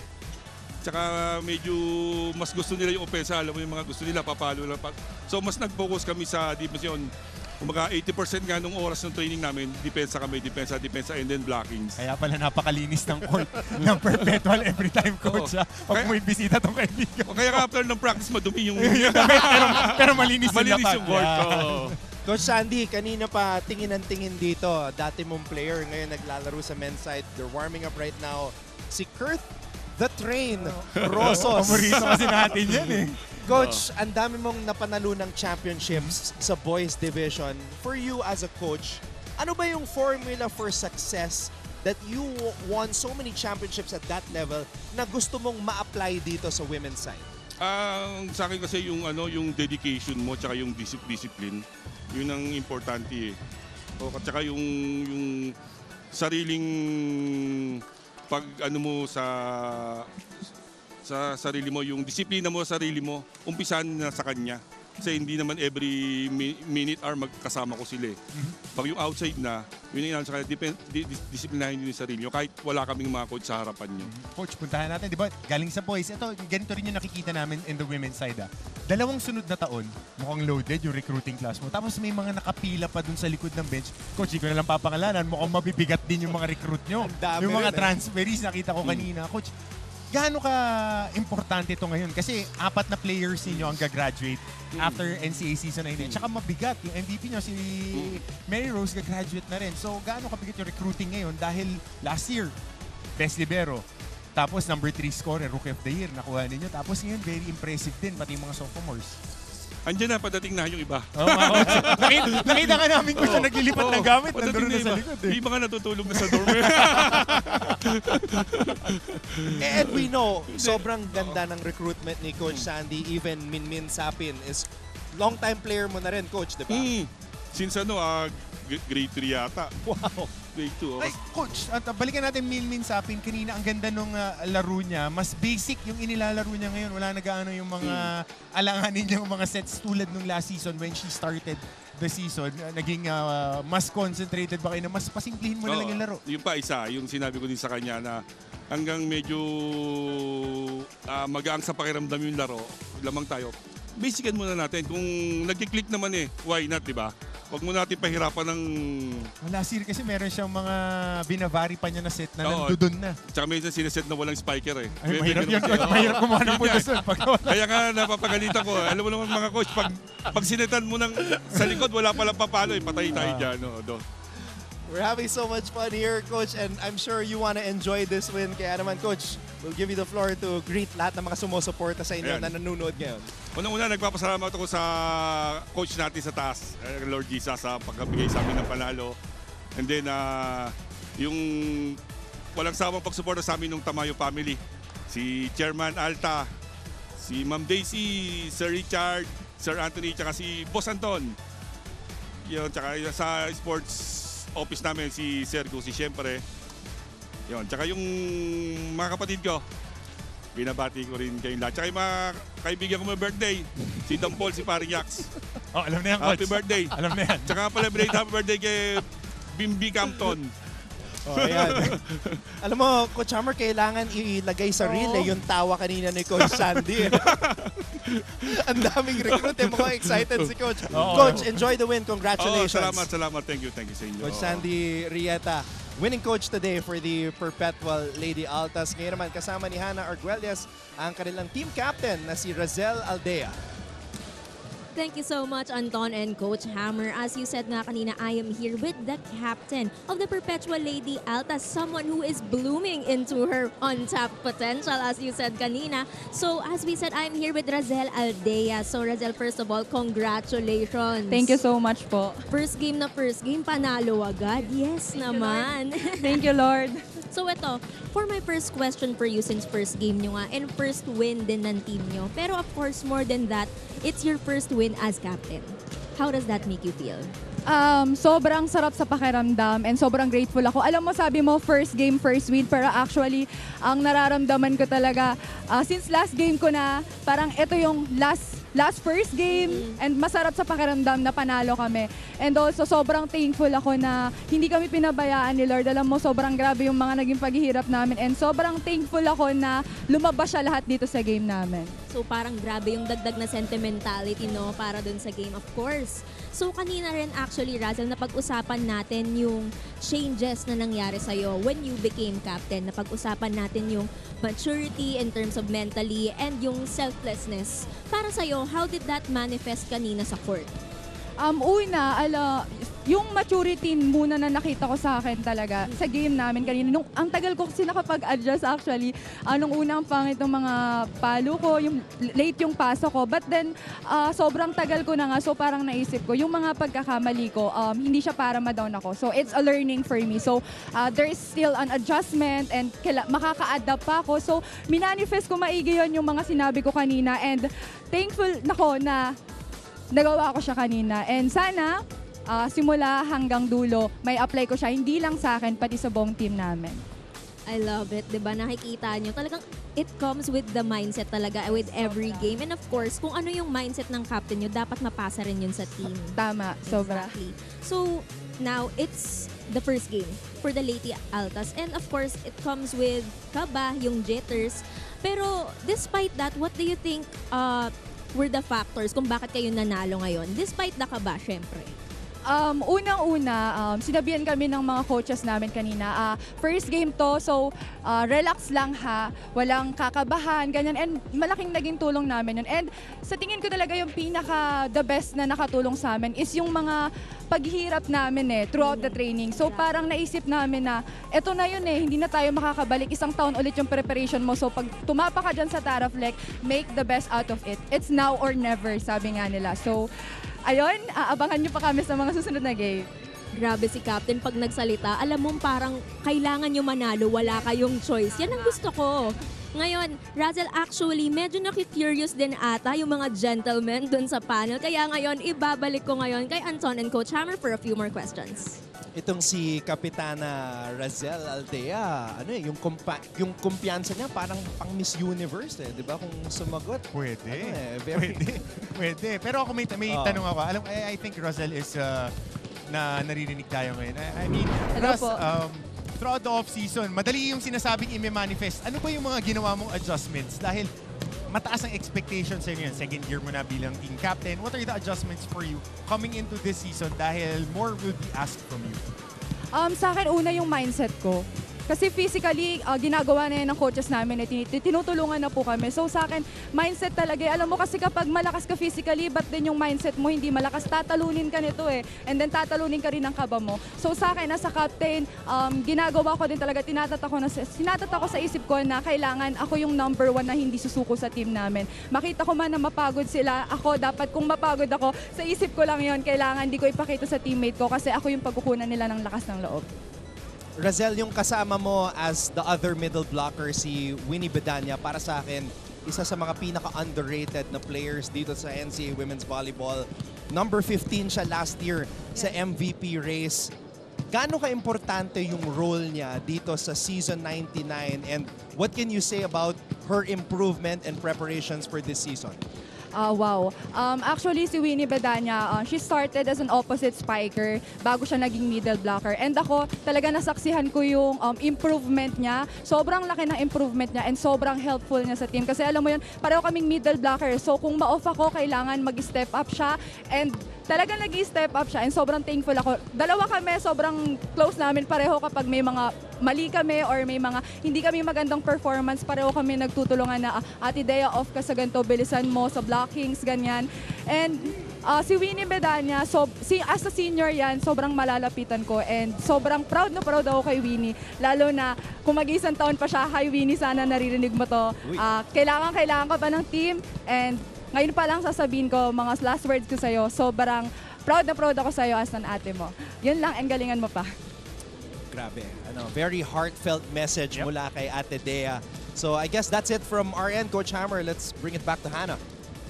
Thank you so much, Anton and Coach Hammer. Now, eto, tatanungin na lang kita, Razel Alde, meron ka bang gustong batiin ngayon uh, to give your thanks? Ah, unang-una po, ah, syempre kay Lord. Ah, Lord, maraming maraming salamat po sa lahat ng guidance niyo sa amin and sa first win na pinagkaloob niyo sa amin. Sa Perpetual family, sa mga boss namin, Tamayo family, um, sa mga coaches namin, sa mga PT namin, and sa lahat po ng sumusuporta, sa, sa family ko, Aldea family, Topacio family, sa mga friends ko, si Abby, si Mariel, si Royce, ah, si Zab, ah, sa lahat pa ng mga hindi ko nabate, ah, maraming maraming salamat sa lahat ng pagsuporta niyo. Ayan, thank you so much, Razel Alde, and I'll be bringing it back now to you, Anton and Coach Hammer. Thank you very much, Hannah. You love to see it. You love the demeanor. Mm-hmm. And I guess if there's an award for miscongeniality, I think I would give it to Ate Dea. Sa But- ngayon, ha? But she wants that championship. This is Coach Hammer really looking for Yep. the higher standard. Mm-hmm. Okay, okay.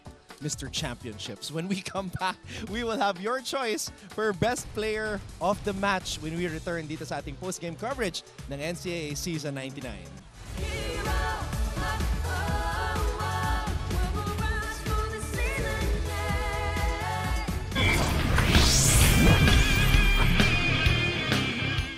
Bigong makapasok sa 2024 Paris Olympics si Tokyo Olympic gold medalist at Pinay weightlifter na si Heidelin Diaz. Hindi nakamit ni Diaz ang kailangang puntos sa 59 kg weightlifting category sa qualification rounds ng 2024 IWF World Cup. Dagdag naman sa listahan ng pambato ng Pilipinas para sa Paris Olympics ang Pinay weightlifter na si Elrin Ando. Pinataob ni Ando si Diaz sa parehong weight category. Si Ando na ay kasama na Pilipino na lalaban para sa Paris Olympics. Back-to-back champion ang Letran Squire sa NCAA Juniors Basketball Tournament. Tinalo nila ang Perpetual Junior Altas sa Game 3 ng Season 99 Finals nitong Sabado. Sa buong game, nangun- nanguna ang Squires at hindi pinahabol ang Altas. Umabot pa sa 16 points ang lamang. Final score 93-76. ating post-match coverage ng NCAA Season 99 kung saan nagtagumpay ang Perpetual Lady Altas laban sa JRU Lady Bombers in straight sets. Anton Ross again kasama si Coach Hammer Martin Antonio and with us is Coach Hammer's pick for player of the match. Walang iba kundi si Winnie Bedanya. Winnie, congratulations on the first win. Kamusta Thank you naman po. yung feeling na nakuha nyo yung first step patungo sa inyong goal na makuha ang kampyonato? Happy po syempre. Um, lalo ngayon po, kahit paunti-unti, alam na po namin na may progress na po kami dun sa goal po namin this season. And speaking of progress, Winnie, ang ganda ng inilaro mo in this uh, ball game. Uh, may Rose Dapol will be consistent, Shai Umipon will be consistent. Ang tanong nga namin, pati kay Coach Sandy kanina, sino yung pang three kings? Three queens kayo eh. Yung pangatlong aatake, si Aldea, sinasabi, ikaw din ang uh, aantabayanan namin. I mean, ano yung mga in-adjust mo throughout the off-season dahil mas pupuntahan ka na nga ng opensa ngayon? Um, siguro po, more practice pa po talaga sa sa chances po namin para po um, kahit makita nila yung mga previous games po namin, may mga bago pa akong may papakita. Winnie, kagabi nung pinag-aaralan ko yung game nyo, ito medyo nagulat ako dito ah. Ito yung listahan ng mga MVPs for last year NCAA Season 98. Siyempre, nandyan si Mary Rose Dapol. Number 2, rookie lang ha, si Shai Umipon. Ito yung pangalan mo, number 15 sa MVP race. Alam mo ba yon na number 15 ka sa race to MVP last season? Hindi po. Wala Ngayon- po. No idea. So ngayon, na, now, now, you- now you know, ano masasabi mo? Para sa akin, ikaw yung isa sa mga pinaka-underrated players dito sa NCAA Women's Volleyball. Um, medyo na-shock po. na-shock po kasi wala po talaga akong idea. Kasi, um, hindi, actually, wala po ata akong MVP last season. Ngayon lang po yata. So, super shock. Wow. So congratulations, Oo. ah, first player Opo. of the First. match. Oo. Uh, You're so important to this team. Kanina nga si Ate Dea mo, ah, in-interview ni Hana, kausap namin. At ah, so graduating ka na ba? Um, hindi pa po. Hindi pa. Opo, Okay. Kasi hindi sin- pa po. sinasabi ni Ate Dea na ngayon pa lang, sinasabi na niya na one more year, Winnie Bedanya. Na ang lalim ng puntong hininga. niya. Ikaw naman pre-pressure mo, Winnie. Para hindi ka naman pressure. Ganda, babalikan natin yung game kanina. Maganda yung net defense niya. Tsaka may bago kang inad. Nakita ko rumarunning hits ka na din sa Opo. middle. Were you able to work on that throughout the off-season? Opo. Um, last season po, ah, um, mostly yung mga palo ko po talaga, mga nasa harap lang. So, Mhm. nag-practice din po talaga din sa likod po para po um, hindi po mabasa ng mga um, other teams. Nahirapan ka ba yung conversion mo? Galing Yes ka sa po. opposite to middle? Na nahirapan? Sa una po talaga ang hirap po. Lalo po sa blockings po, sobrang hirap po mag-adjust sa blockings. Kasi habol po dun sa kaliwa, habol sa kanan. Ano mas nakakapagod? Middle po. Winnie, sino ba yung pinaka-idol mo sa volleyball? Meron bang player na pinapattern mo yung game mo with this type of player? um, sa ngayon po, kay Madayag po ako. Kay Madi. Apo. Oh, favorite ni Coach Hammer Yes. yun. Madi Madayag. Oh. Yung running attack ni Madi, no? Kung ma kung ma-perfect nga mo. po. uh, So parehas grabe may yun. length, tapos Oo. may athleticism, tapos coming from an opposite spiker mold, ngayon nagmi-middle ka. Sabi mo nga lang mas mahirap blumak, pero ang Opo. ganda ng blocking niya kanina, tsaka yung floor defense sa mga kapi mo. Ano masasabi mo dun sa bago niyong libero? Kasi ah, wala si Marian kanina, Opo. dahil importante na as a middle blocker, yung sumasalo ng mga palo na lulusot sa inyo. How was it working with a different libero this game? Um, ngayon po, um, masasabi ko kay Jody, grabe po yung improvement niya kasi nga, yun nga po si dahil kay yung nangyari po kay Andal po. Um, super proud po ako sa kanya kasi nag nag-step up po siya ngayon para i-support po yung team namin this season. Para sa'yo, Winnie, last year, kasi 8 and 1 kayo sa elimination round. Tapos, na-shock kaming lahat actually because uh, we feel that you guys could have done better against LPU in the step ladder semifinals. Ngayon na nakakuha na kayo ng experience doon, ano yung mababago kung sakaling dumating sa ganong klaseng sitwasyon ulit na do or die game sa step ladder, ano yung kailangan yung gawin para makaabante sa finals? Um, siguro po yung dadagdagan po namin yung eagerness namin. Kasi that time po parang medyo nag-relax po kas kami kasi medyo na-overwhelm sa mga nangyari po. So, ayun, eagerness po namin manalo. Pumunta sa championship po. Okay. One step away, no? Opo. And that is the wish of all of the Perpetualites hoping na, yun nga, umabante na sa finals at makuha muli yung kampyonato. Opo. Winnie, pwede ka na ano, bumati dito. I'm sure lahat ng mga friends mo, family mo nakatutok ngayon. Opo. Um, binabati ko po sila, um, Sir Alta, Sir Anton, and yung Tamayo family, pati rin po si Mom Marge. Ah, thank you po sa mga um, suporta po. And yung Perpetual Community po, um, binabati ko din po yung family ko, Bidanya family and Villana family, pati din po yung extended family ko, um, Sarmiento family and Santiago family. Um, sa duwa ko po si ah, Crystal and Angela, kay Love, and um, sa Marupox po, hi. Marupox? Pwede niyo siya ko po, i- group ko po. Ah, kala ko, i-recruit niyo ha. medyo Pwede niyo marupok i-recruit. kasi. Pwede niyo i-recruit si Anton ha. Pwede niyo Sh- shout out sa Marupox. Okay, Shout out. punta natin ngayon si Hana. Thank you so much, Anton and Coach Hammer. Medyo natamaan ako dun sa mga marupok sa. Pero right now, I am here with the Season 98 MVP, Mary Rose Dalpo. So first of all, congratulations sa first win nyo. Yes, thank you po sa ano.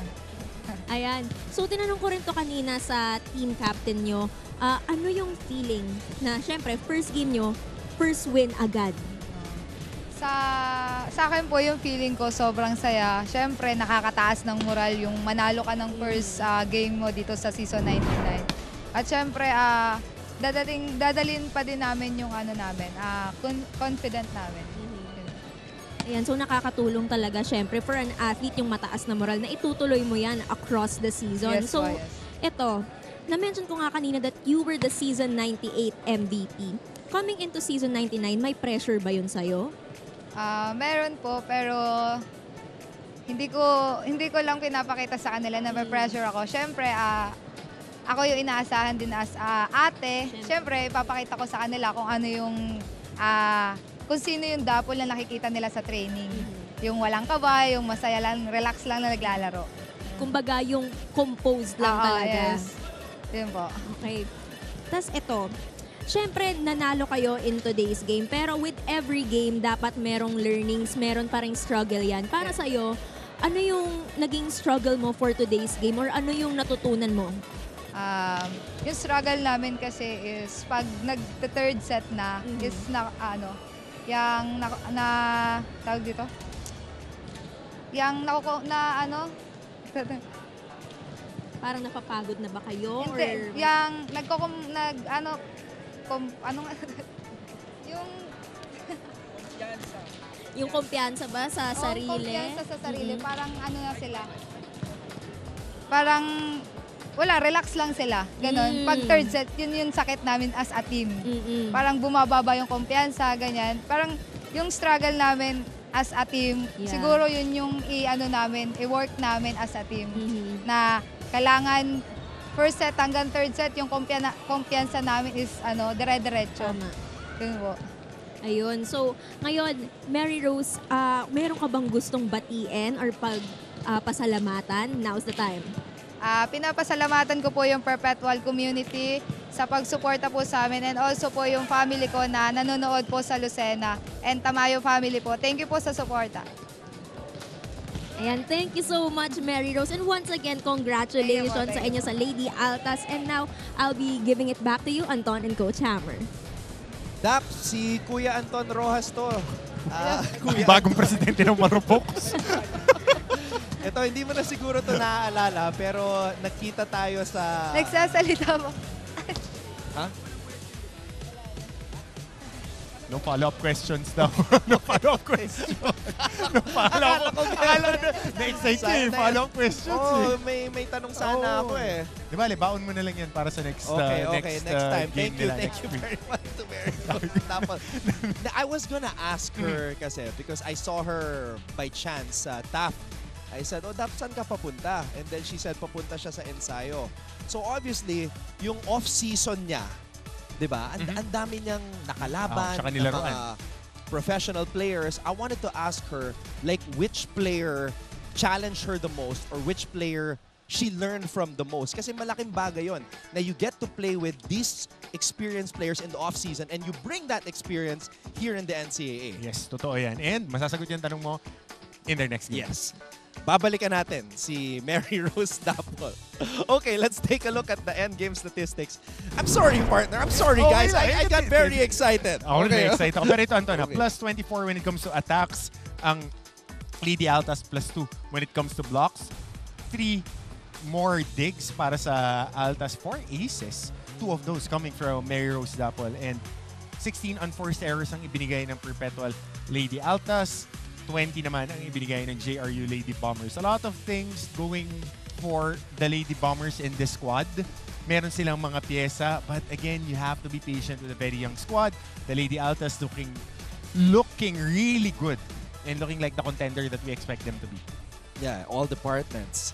Blocking, aces, and they even improved on their unforced errors because in the first set they had eight, so they were able to limit that to five in the second set.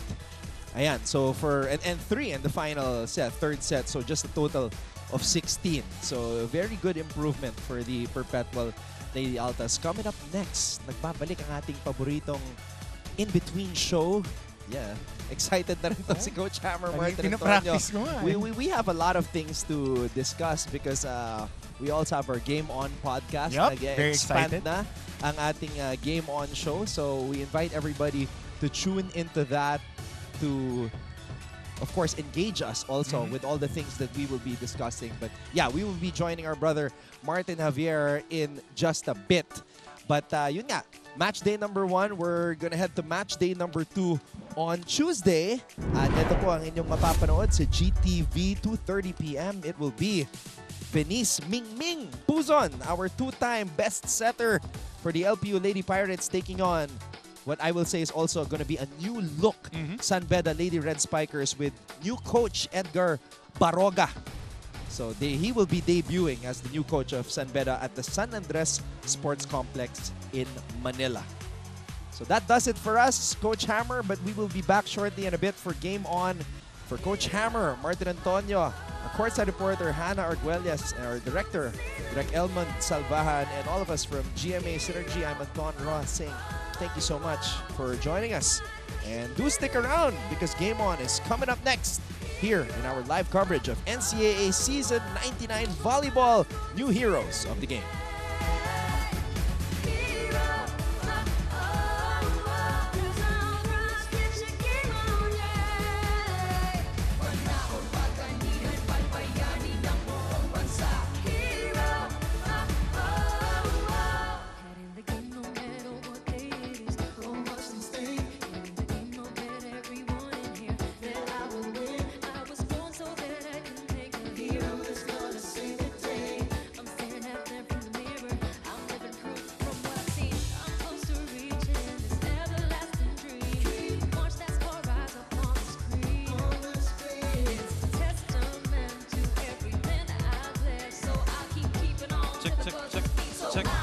Check, check, check.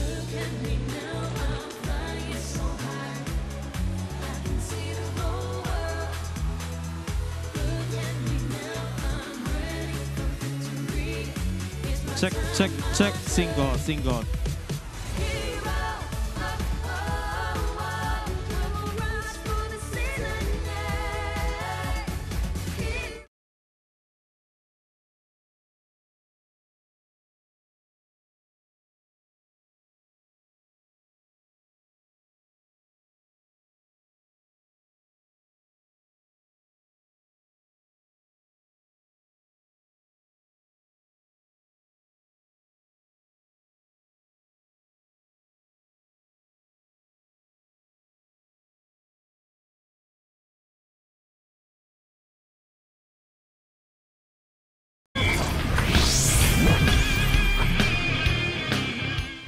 Bigong makapasok sa 2024 Paris Olympics si Tokyo Olympic gold medalist at Pinay weightlifter na si Heidelin Diaz.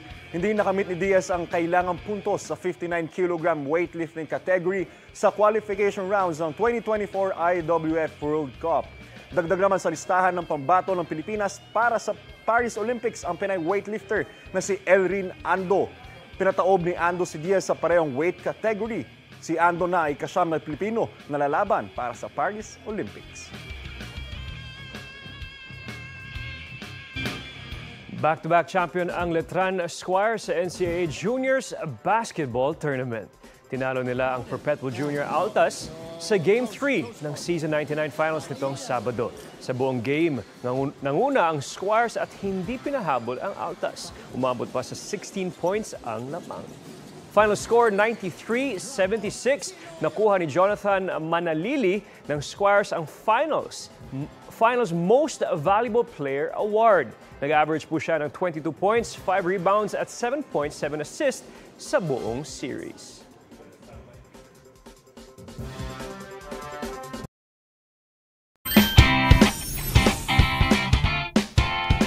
Good job ang isang Pinay weightlifter na nag-qualify.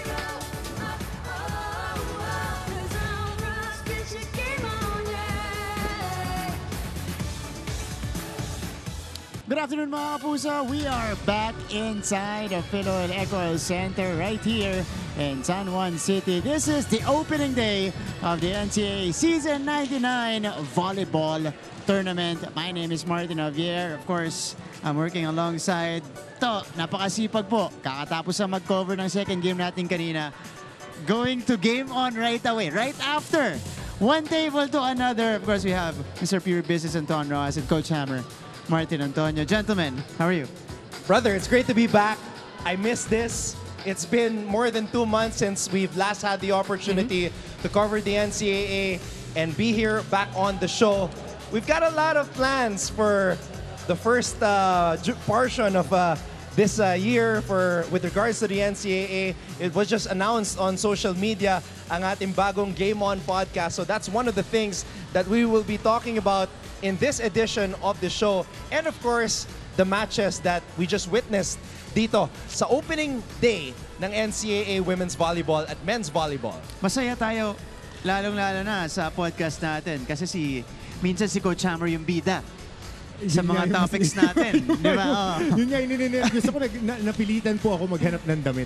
Dahil alam mo naman ako, alam mo naman ako default lang yung mga wardrobe ko. But again, uh, it's it's a great opportunity for us that uh, we're still here covering the NCAA.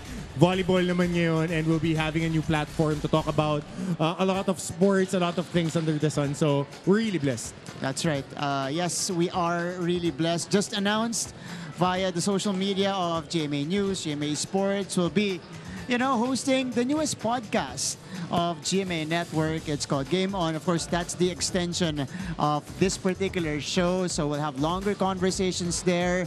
We will have wider topics to talk about, wider subjects to talk about. We'll have guests, different athletes, not just NCAA athletes, not just basketball athletes, pero iba't ibang sports po ang ah, ating i-guest yan no? or ating aabangan. Pero pag-usapan muna po natin yung mga naging laban ngayong araw na to. It has been an eventful opening day of women's volleyball. Men's volleyball, nakakaisang game pa lamang tayo. Nagwa-warm up yung second game natin between Perpetual and JRU. But we gotta go first to the men's division kung saan po bininyagan tayo ng isang five-setter. Fifth set agad.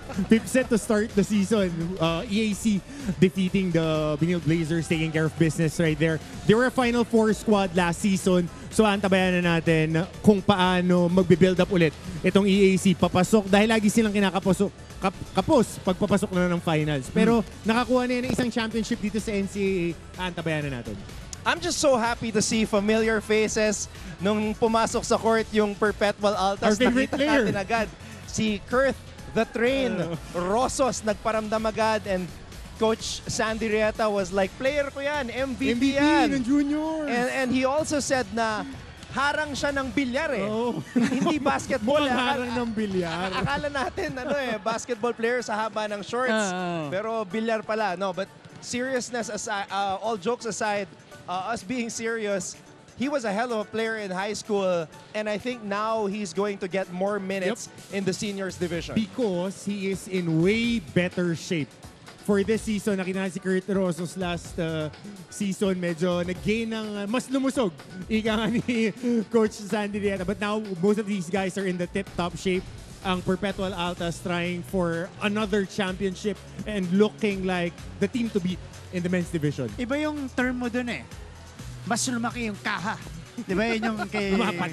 Lumapad. Lumapad. Oo, di ba? Yun yung term ni Coach Hammer. But that's great news, especially for Perpetual fans. Again, they're gunning for another championship. I like the nickname, The Train. Yeah, may tarp pa yan. May tarp pa, the train. Akala mo si Barbie San Andres lang yung may tarp?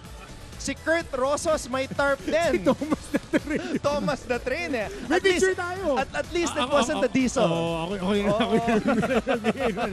And then, uh, but I mean, all jokes aside, sabi nga natin, we're just really glad that the NCAA volleyball season is uh, in full swing right now on our first day. And two really good teams in the women's division debuted today Yeah. looking like contenders. Okay, dagdag ko lang dun sa men's division before we let it go. Yung Benil Blazers, much improved this season. Ang binanggit sa akin ni Coach Arnold last year, na-late sila ng preparation dun sa men's division. Kaya last year, hindi pa masyadong peak yung team nila. They had a full off-season. Tapos lahat ng nagre-residency na players nila nakapasok na ngayon kompleto sila. They challenged EACO again is a perennial Final Four team here in the NCAA men's scene. All right. So you mentioned already, Coach Hammer, in the women's division this time. First game. I covered this game with Miss Gaira Baroga na nandito tayo sa Phil Oil. Di ba? Sa Phil Oil tayo. Oh, nakita ko yung picture dun sa ano, sa pader. Sabi ko, partner ko kanina, si Miss Gaira. Okay. Did a great job, by the way. But it was the Benilde Lady Blazers who are, you know, gunning for the three-peat this year. Make They want to make history for the school. They won over the EAC Lady Generals convincingly. At least first two sets, 25-15, 25-14. Third set, EAC was able to keep it close. Ultimately, the defending champs, they were just too much in this particular game. It's so crazy how this team has won 30 straight matches in NCAA women's volleyball. They have not lost since 2019.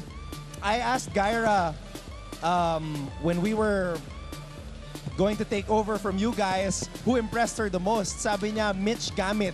And last year, it was a question mark. It was up in the air as to whether babalik pa si Mitch Gamit. But I'm so happy to see her here and shining for the Benilde Lady Blazers who are trying to establish a dynasty. Sabi nga ni Coach Hammer kanina, two championships is not a dynasty yet. It's gotta be three. And that is the mission for Coach Jerry Yee here in season 99. They have the demeanor, they have the preparation, they have the tools to get another sweep. But of course, itong mga koponan in the women's tournament also prepared well for this season. Tsaka syempre, hope springs eternal pagkasimula ng ah, competition. So antabayan na natin sino pa yung mga bagong challengers para dyan sa corona ng Be- Benilde Blazers. You know what's scary in this match? Starting unit ng Benilde Lady Blazers, they didn't have Jade Hentapa. She came off the bench here. Sila yung nagpalitan dito. Neto ni Gail Pascual. Binababad si Jade, pinapalitan ni Gail. Tapos, ang naghahalin-hinan. Micah Go was just, you know, used, I think, in the second set. Very sparingly in this match. How There. did she look though, brother? Okay naman. Trying to get into game speed, Oo, get used totoo. to game speed Totoo again. yan. Pero they're taking it slowly. I think they won't force Micah to produce right away, to contribute what she used to contribute when she was MVP. I think they'll try to bring her along very slowly here. But that's what's scary here. I, we, we saw Willin Estoque earlier. We saw Jess Adoro, much improved. Those two, nakita natin yung depensa last year. 'di ba? Lalong-lalo floor defense, yung reception. Ngayong year, yung atake nila mas pulido na. So, mas lumalim ang rotation ngayon ni Coach Jerry. Well, yun naman talaga eh. Nakita natin throughout the offseason, nakapag-recruit din ang Benilde Blazers. And last toward the latter part of season 98, binigyan na ni Coach Jerry ng pagkakataon maglaro yung mas maraming players dun sa kanyang rotation. Kaya yung pagpasok, ito yung pinakamalakas nilang team eh. I think ah. Dahil Wow. nagkaroon, nagkaroon na sila ng experience and Micah Go coming back. Ang laking bagay nun with her being set into the fold. Kasi nagkaroon ng experience eh. Di ba sila, uh, yung mga players sila dati si Pascual lang inaasahan. Si Gamit had an off year last year, up and down yung kanyang nilalaro. So if she impressed Gyra in uh, this uh, first game, they might be a stronger team this year compared to last season. Hammer dropping the bomb, I know. dropping the hammer I know. in our You very know. first You- you have episode, to- declaring that this edition Might of the be, might Lady be, Blazers might be. is the strongest might ever. be, might be you, their you said strongest. earlier, now no, you're might be their, saying might be, no, okay. might be their strongest ever Okay, because ang dami nilang holdovers. Tapos, nagamit na nila yung mga holdovers nila. May experience na not only in the NCAA but also in the semi-pro ranks. so, malaking bagay yun. I don't know. For me, I think it was the MVP year of Micah Go. Your That was one. the the strongest so far. But you know, like Martin said, they're bringing her back in slowly, and we might see, you know, a newer, wiser version of Micah Go later in the season. and that's what, what- I'm praying for also. Tsaka maganda makita paano naman nag-adapt yung laro niya. After Ah. coming off an injury, syempre magkakaroon ng variation yung laro niya. Ano yung mga idadagdag niya para hindi niya kargahan masyado yung mga ginagawa niya previously. right. Ano pa yung mga facets ng game niya yung may na-improve niya throughout that prolonged off-season. At syempre dapat alalahanin natin, you know, she had a full season last year watching from the sidelines, you know, as an assistant coach, lots of learnings there. 'Di ba? Iba yung nakikita mo yung laro, nakikita mo kung saan kayo pwede mag-improve, saan ka pwede mag-contribute when you come back to the court. Sabihin ko lang ha, Yeah. yung una niyang sinabi, yung pagkakasabi niya nung una. Might be, might in, be. In, hindi, hindi, pagkasabi niya una, in passing lang eh. Tapos nung sinabi ni Anton bigla na, oh, oh, oh. Naging ano na, eh, co- convincing declaration. Oh, medyo may authority na. Uh, pero yeah, you, you, you got a good point. This they're they're intact this year. They have a very deep lineup. So abangan niyo po yan. EAC Lady Generals though, I think this team, okay, their strength is floor defense, um, just like their men's team. Pero earlier they showed some fight, especially in that third set. Mas naging pulido na rin yung mga wingers sila, yung mga attackers sila. Even one middle, Jaja Villena contributed a lot. But they still need to polish a lot more to their game and maybe add more pieces for them to win some games. Pero, pero dahil dun sa floor defense nila, they will stay within range against the strongest teams in the Yep. league. Meron, ever since naman may depensa talaga sila eh. Uh, throughout the past few years, yan yung naging uh, trademark ng coaching staff ng EAC. Nabanggit mo Martin, both in the men's and the women's competition, they're really up there when it Yeah. comes to floor defense, digs and receptions.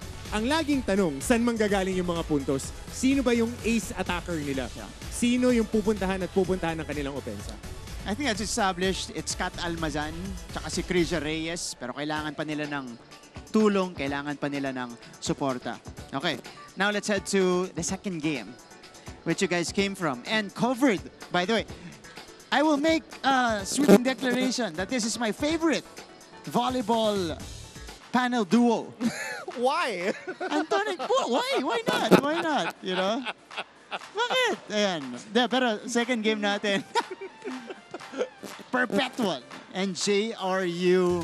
And it was a convincing win for the Perpetual Lady Altas. They want to avenge their disappointing, I would say disappointing ending to season 98 because they were expecting to at least enter the finals last season. Yeah. Natalo sila sa Final Four dun tayo sa step ladder against LPU. So, might be out for revenge this year, etong Perpetual Lady. Yeah, it's unfinished business for Mary Rose Dapol and Coach Sandy Rieta and the gang because last year was one of their best seasons ever in terms of the elimination round. 8 and 1, they only lost to Benil. So the expectation was they would dominate the stepladder semis and advance for a rematch, a showdown with the Benil Lady Blazers. But in the stepladder semifinals, they did not look like themselves. Admittedly, talking to Coach Sandy Rieta before the game, sabi niya, na-shock sila pagdating nila dito sa mas malaking venue. They were not ready for the moment and LPU was able to make their first finals ever. But this year, they have the experience, they have the momentum, mas matapang sila, and we saw it in this very first match. And given more time to prepare. That's one thing. At saka pinuno kasi nila yung PhilOil Eco Oil Center nung naglaro sila in that step ladder. Natapat din sila dun sa LPU na nakakuha ng buwelo against Mapua and then papasok, kalaban sila. Meron ng momentum. So malaking bagay yun. But again, the usual suspects are there for uh, the Lady Altas, Dapol, Umipon, and uh, kanina, mas maganda yung pagsasets ni Sapin. So, marami silang nakuha mga magagandang plays. At mar- napansin namin na Anton, mas marami silang itinatakbong plays. Mas different uh, looks pagdating sa kanilang opensa. Mukha bang mas buo na sila this year? Would you say they're at the level of the Benil Lady Blazers in terms of, you know, just being whole as a team? I would say they are deeper this year. Kanina, last year's best libero did not play because she's injured. She has uh, knee pains. So hindi siya nakapaglaro although she was suited up. But the backup libero stepped up. And another player who I've been saying it throughout the coverage, very underrated, number 15 last year in the MVP race, Winnie Bedanya. If she and Razel Aldea, si Ate Dea, if they can elevate their game this year, I think they are going to give the Benil Lady Blazers a run for their money. Wow. Yeah, Okay. I can. I will go as far as to say that if if the middle blockers can elevate their game, I think they will be the key to matching the level of the defending champions. She is so underrated, pati siya nagulat. Nakasama siya dun sa MVP conversation. Kasi binanggit kanina ni Anton dahil open notes kami kanina. Binanggit ni Anton that she was part of that MVP conversation at number 15. Tinanong ni Anton, alam mo ba na number 15 ka siya? Hindi niya rin, hindi niya niya alam. rin daw alam. So at least with her uh, breakout game, so to speak, first time niya naging best player of the game sa competition in the NCAA might open a lot of eyes and even her confidence para makapagdagdag ng different facets sa kanilang laro. Okay. Last na lang. because I feel like the rebuild will continue for the JRU Lady Bombers. You know, a lot of young players in this team brought by Coach uh, Mia Choseco. Ano yung napansin nyo kanina? Who has potential of being the next Shola Alvarez? Meron bang nakikita ng potential?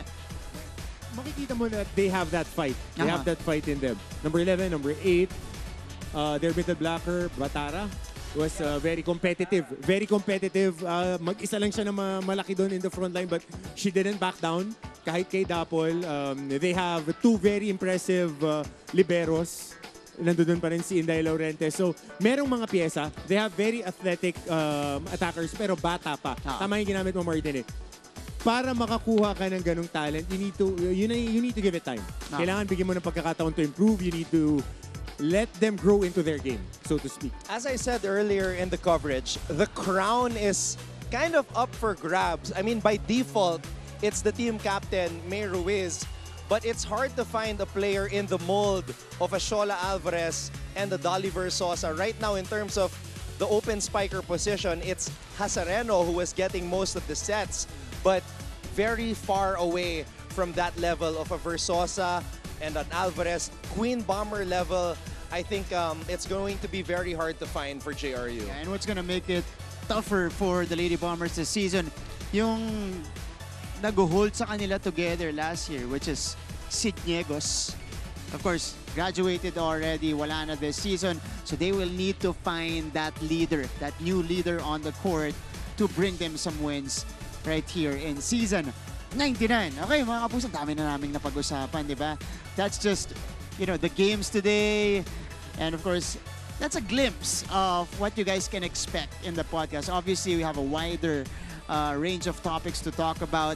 Pero NCAA, syempre, ang pag-uusapan natin dito sa ating show ngayon. Okay, pagpapatuloy po natin ang pagpapakilala uh, sa mga volleyball team captains natin. Ngayon, okay, let's watch this.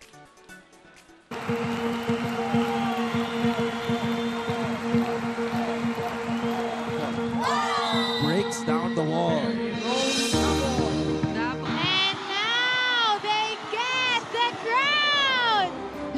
NCAA Season 98 champions, the Benil Lady Blazers!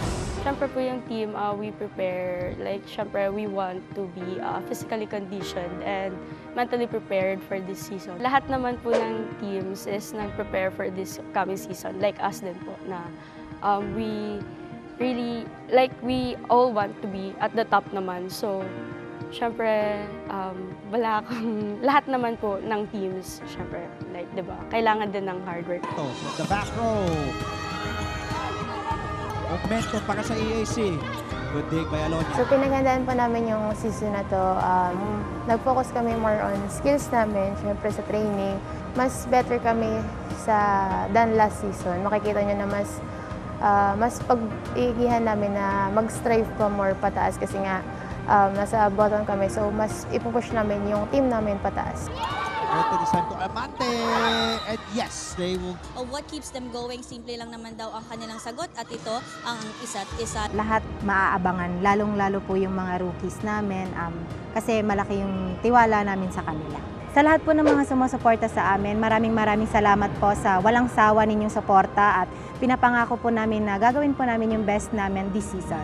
We've seen one of the best uh, rookie classes of uh, for NCAA and uh, both of these teams have these prized rookies. May mga makikita kayong new faces that will really um, contribute to the team. The rookies, especially of course, um, yung mga batang-bata namin na pero pag sumalang makikita mo na may pusong palaban talaga.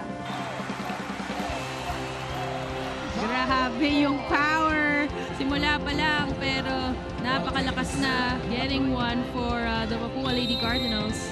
sobrang laking adjustment din po yung ginawa namin sa team. Um, since puro bata nga po yung team namin ngayon. So, mas mas kailangan namin nag-double time sa effort namin. I'm proud to say na palaban po yung mga rookies namin this season. Alam namin na pag sinalang sila sa court, gagawin po nila yung best nila.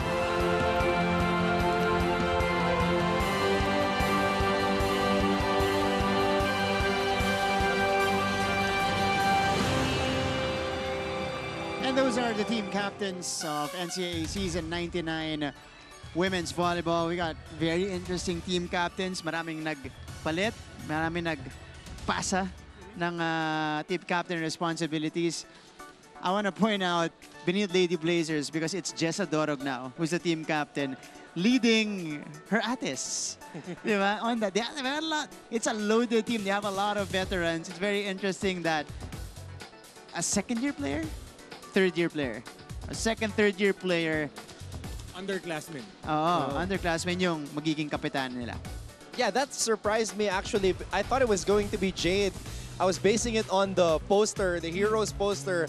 Pero yun nga, when I was given the list of captains, Jessa Dorog, um, I'm not sure what the motive behind this was, but yeah, that's a huge responsibility being that you have to lead your ates and maybe Coach Jerry is looking towards the future. Yeah. Yun lang yun. I mean, you want to leave, uh, you want to somebody na pagka-graduate ng mga seniors would have that DNA, would have that culture of leadership para masustain yung program. Okay. Last lang before we go to our opening here. Ang ganda ng off-season natin. You know, a lot of news uh, in the off-season. Yung mga bagong coaches natin sa NCAA. Of course, implementing better programs. Kaya ka panapanabik, kaabang-abang talaga itong season 99. Daming players na kinuha at na- na-recruit, you know, priced blue chip recruits from the provinces as well. So, ano masasabi niyo doon? Because we have a few teams who really retooled and, you know, paid attention to their volleyball programs. So we have two new coaches sa San Beda Lady Red Spikers, the dad of Gaira, yeah. Coach Edgar Baroga. So excited to see what type of impact and what type of system he will be implementing for San Beda. I don't know, maybe this guy here has some inside information. He probably has. Which he will once again keep close to his chest. No, no, no, no, no, no. And of course, I am so happy for this man. I am so happy that we, we will be closely interacting and covering him again. Coach Oliver Almadro, a homecoming for Coach O.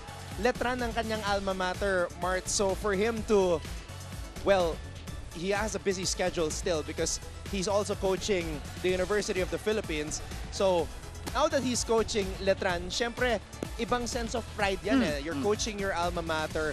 And I'm just so happy that Coach Oliver has come home because nakikita natin, nanunood siya ng NCAA volleyball. So for him to actually coach a team, I'm so excited. I, I, I don't know what kind of you know system kasi alam natin yung uh, Coach O, you know, uh, the the energy that he instills to his players, the discipline and focus. I'm excited to see the Coach O effect sa Letran Lady Knights. Okay. So, Coach O, yes, will be debuting. When, when, when is he debut? Maybe Tuesday or Wednesday. Uh, this week po sa season natin. Okay. So, we mentioned earlier, it has been an eventful opening day of your women's volleyball tournament and the men's volleyball tournament. So, ito po yung mga nangyari sa ating opening day of season 99 volleyball.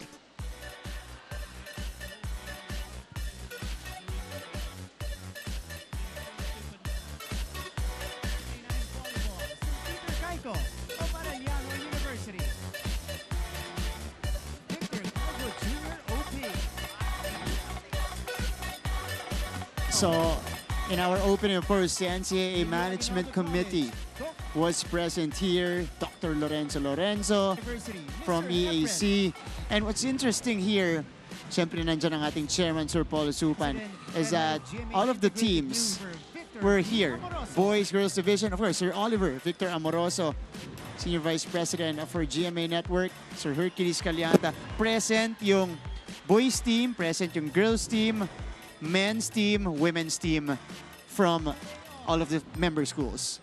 You know, it's so crazy how time flies. I, I fondly remember one of the NCAA volleyball openings that I hosted, and Shola Alvarez was playing in her final year. Alam mo naman ako minsan, guys, ano ako eh, as a host, may mga impromptu akong ginagawa. Yung lalapitan ko bigla yung player.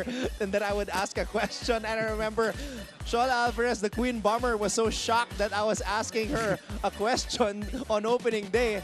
And that was the year na naging MVP siya. Ah, oh. So I mean, Marts, today you hosted it. Uh, you had a front row seat to the new chapter for these athletes. For you, like, uh, what stood out? Well, I talked to Louis Ramirez, Okay. but we won't be surprised if he ends up MVP again. So, but what stood out for me was that, you know, everybody was here. What stands out for me is that guy with the shades over there. In the venue. Oh, this is what stood out. Doc Ian Laurel. Hey, our old friend, Doc Ian. Yeah, giving the inspirational speech. And of course, our guest speaker today, or earlier rather, in our opening ceremony. And of course, we had one big photo. Bibihira po to. Usually, it's just the collegiate teams. Marami ba? Marami silang naka-shades. Okay.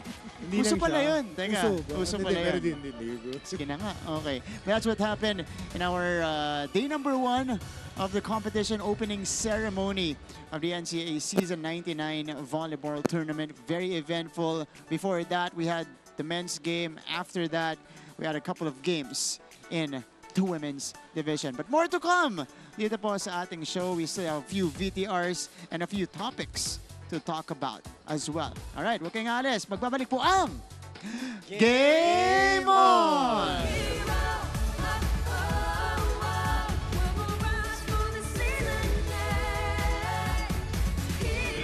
Another good news mga kapuso, pasok na rin po sa 2024 Paris Olympics ang Pinoy weightlifter na si John Februar Seniza. Yan ay matapos siyang maggogi sa qualification tournament na 2024 IWF World Cup sa Thailand. Nakuha ni Seniza ang ikaapat na pwesto sa men's 61 kg weightlifting category. Siya ay kawalong dagdag sa pambato ng Pilipinas para sa 2024 Paris Olympics. Una nang nag-qualify sa 49 kg weightlifting category si Rosie G. Ramos. Makakasama nila sa Paris Olympics sila EJ Obiana, Carlos Yulo, Alea Finegan, Yumir Marshall, Nesty Petesio at Ira Villegas.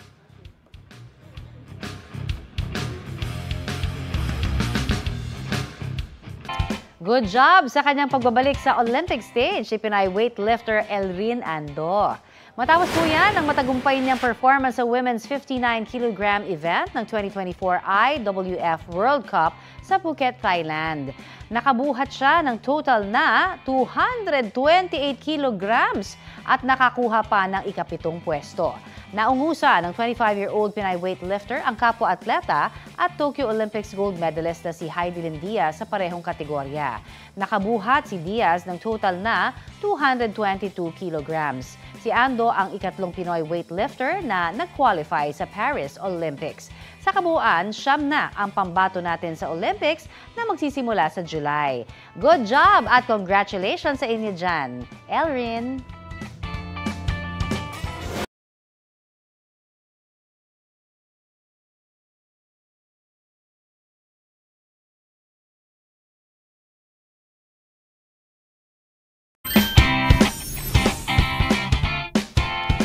Good job ang isang Pinay weightlifter na nag-qualify sa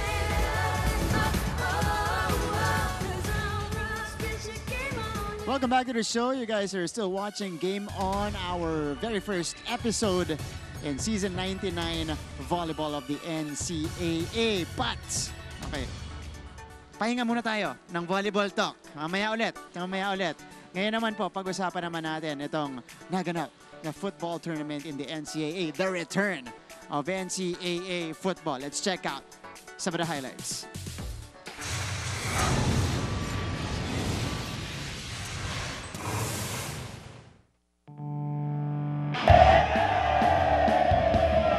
The Sunbury University Red Booters earned perhaps their most satisfying championship to date as they overcame the Benilde Strikers in the finals to win the NCAA Season 99 football tournament. After both teams went goalless in 90 minutes of play, Amir Aningalan found the back of the net in the third minute of added time. His breakthrough goal proved to be the winning moment that helped Sunbetter retain the title and extend their record to a league best 25 football trophies. This was also the first time that the NCAA football tournament was held since 2019. Masarap ang. Talaga naman pag nag-champion ka, kahit sino siguro, masarap ang. And uh, mahabang panahon bago mag-champion ulit because of the lockdown pandemic. Benilde was actually poised to win the tournament after emerging as the top team in the first round of eliminations. However, Sunbeta showed the heart of a champion in their second round match, winning 1-0 courtesy of an Eldwin Escosoro goal in the 84th minute. Had Benilde won this match, they would have been outright champions. Instead, the Red Booters forced a deciding finals clash. Amir Aningalan was named MVP. Masarap sa pakiramdam kasi ilang taon namin ito pinaghandaan and halos lahat kami ng mga teammate ko hindi kami umuwi ng probinsya namin. Nagsakripisyo kami para sa NCAA na season 99. While Eldwin Escosora was awarded Best Defender, Christopher Pedimonte took home the Coach of the Year Beda. Una po sa lahat, nagpapasalamat kami sa lahat ng pumuntahan, sumuporta simula nung day one. Um, yung community, sobrang grateful kami kasi first time kami naka-experience ng ganitong crowd. And sobrang, sobrang saya ng mga bata. While Kirk Emancy was recognized as the Rookie of the Year. C, who scored six goals for San Beda, also won the Golden Boot. Rounding out the awards from the Mendiola-based squad was John Antoinette Betaño, who was hailed as the league's best goalkeeper. Jancy Blair Borja of Benil did not go home empty-handed though, as he won the award for Best Midfielder. Meanwhile, Mapua University, who finished fourth in the four-team field, won the Fair Play Award. Emilio Aguinaldo College closed the season as the second runner-up. And that, mga kapuso, was your NCAA Season 99 football recap. Congratulations to San Beda's football team na nagse-celebrate. May gumagano, no? Woo! Woo! Napanood yung finals match Oo, ang ng hirap Benil nung- at San Ang Beda. hirap kasi nung pinagdaanan nila. Kasi we, ako personally, since I know the program, they've been uh, champions for the longest time. Time pa nila Coach Aris Caslib. And then si Coach Chris, he, they lost. The Red Booters lost in the first round. Won in the second round. Rubber match, extended time, and goal after the third minute. And all of the Bedan athletes were there. Pagka pinap pinapanood online, somebody was streaming from the alumni.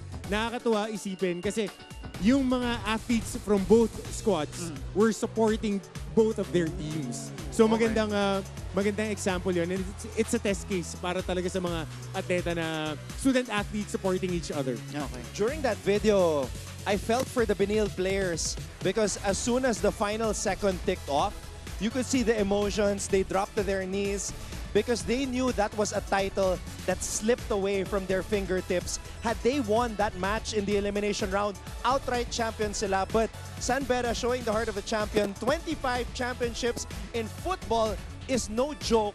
And shout out to everybody who went there from the Bedan side. Punong-puno yung stadium. And shout out to the guy who was doing the live streaming as well.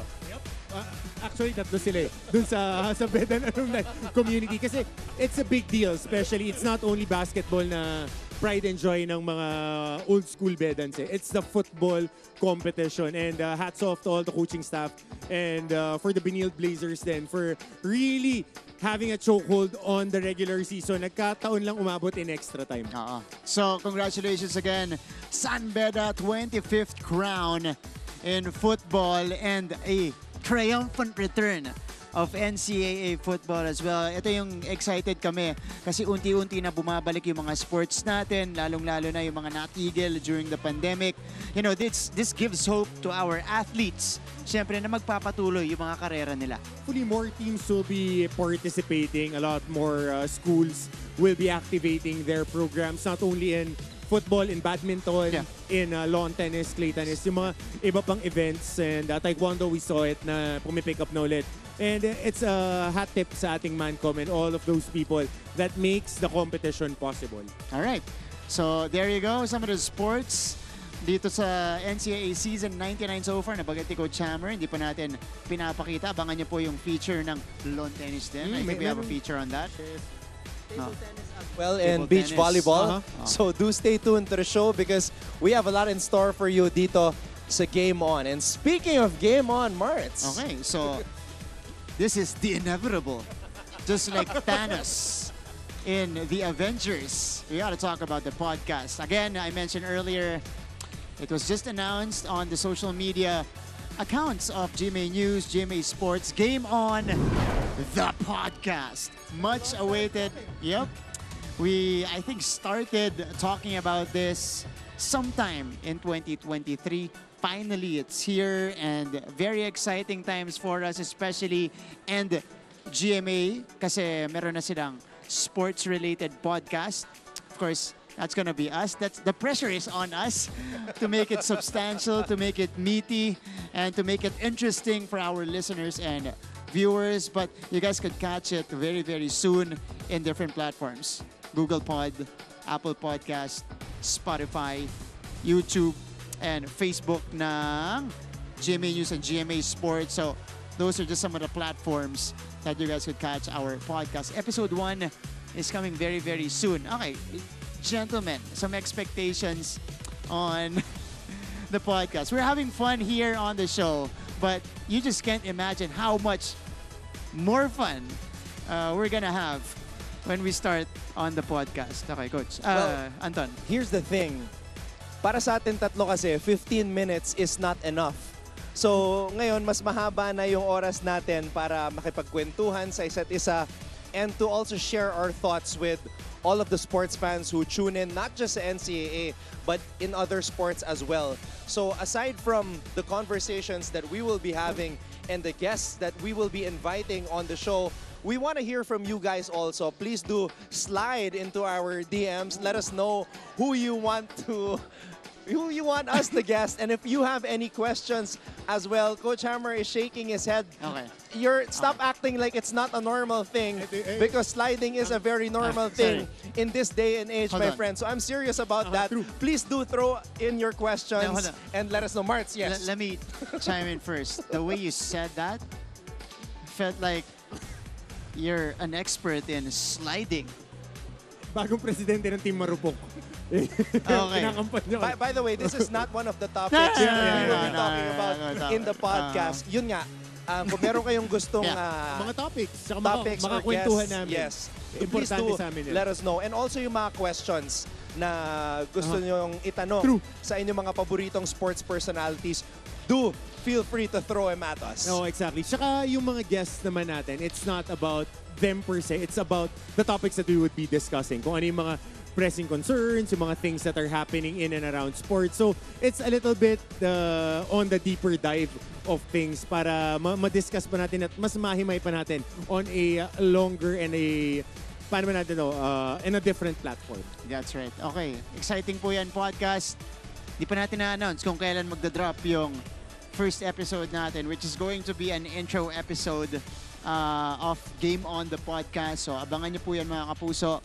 Again, do not forget to subscribe, follow our social media platforms, our social media accounts for some updates on the podcast. Pero ngayon, binanggit na natin different sports.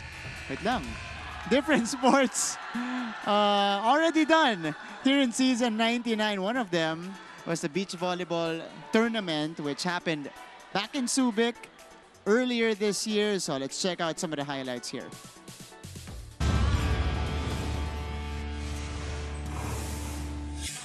The NCAA Beach Volleyball Tournament returned to the sand court Subic Bay Freeport Zone where old and new heroes rose to the occasion for season 99. It was a success. I'm happy. I'm happy. It's a success in a way that we were able to bring back the high school division. And we're thinking of putting a girls division next year. In the women's division, Colegio de San Juan de Letran successfully defended their title after beating Sunbury University 21-16, 21-16 in the finals.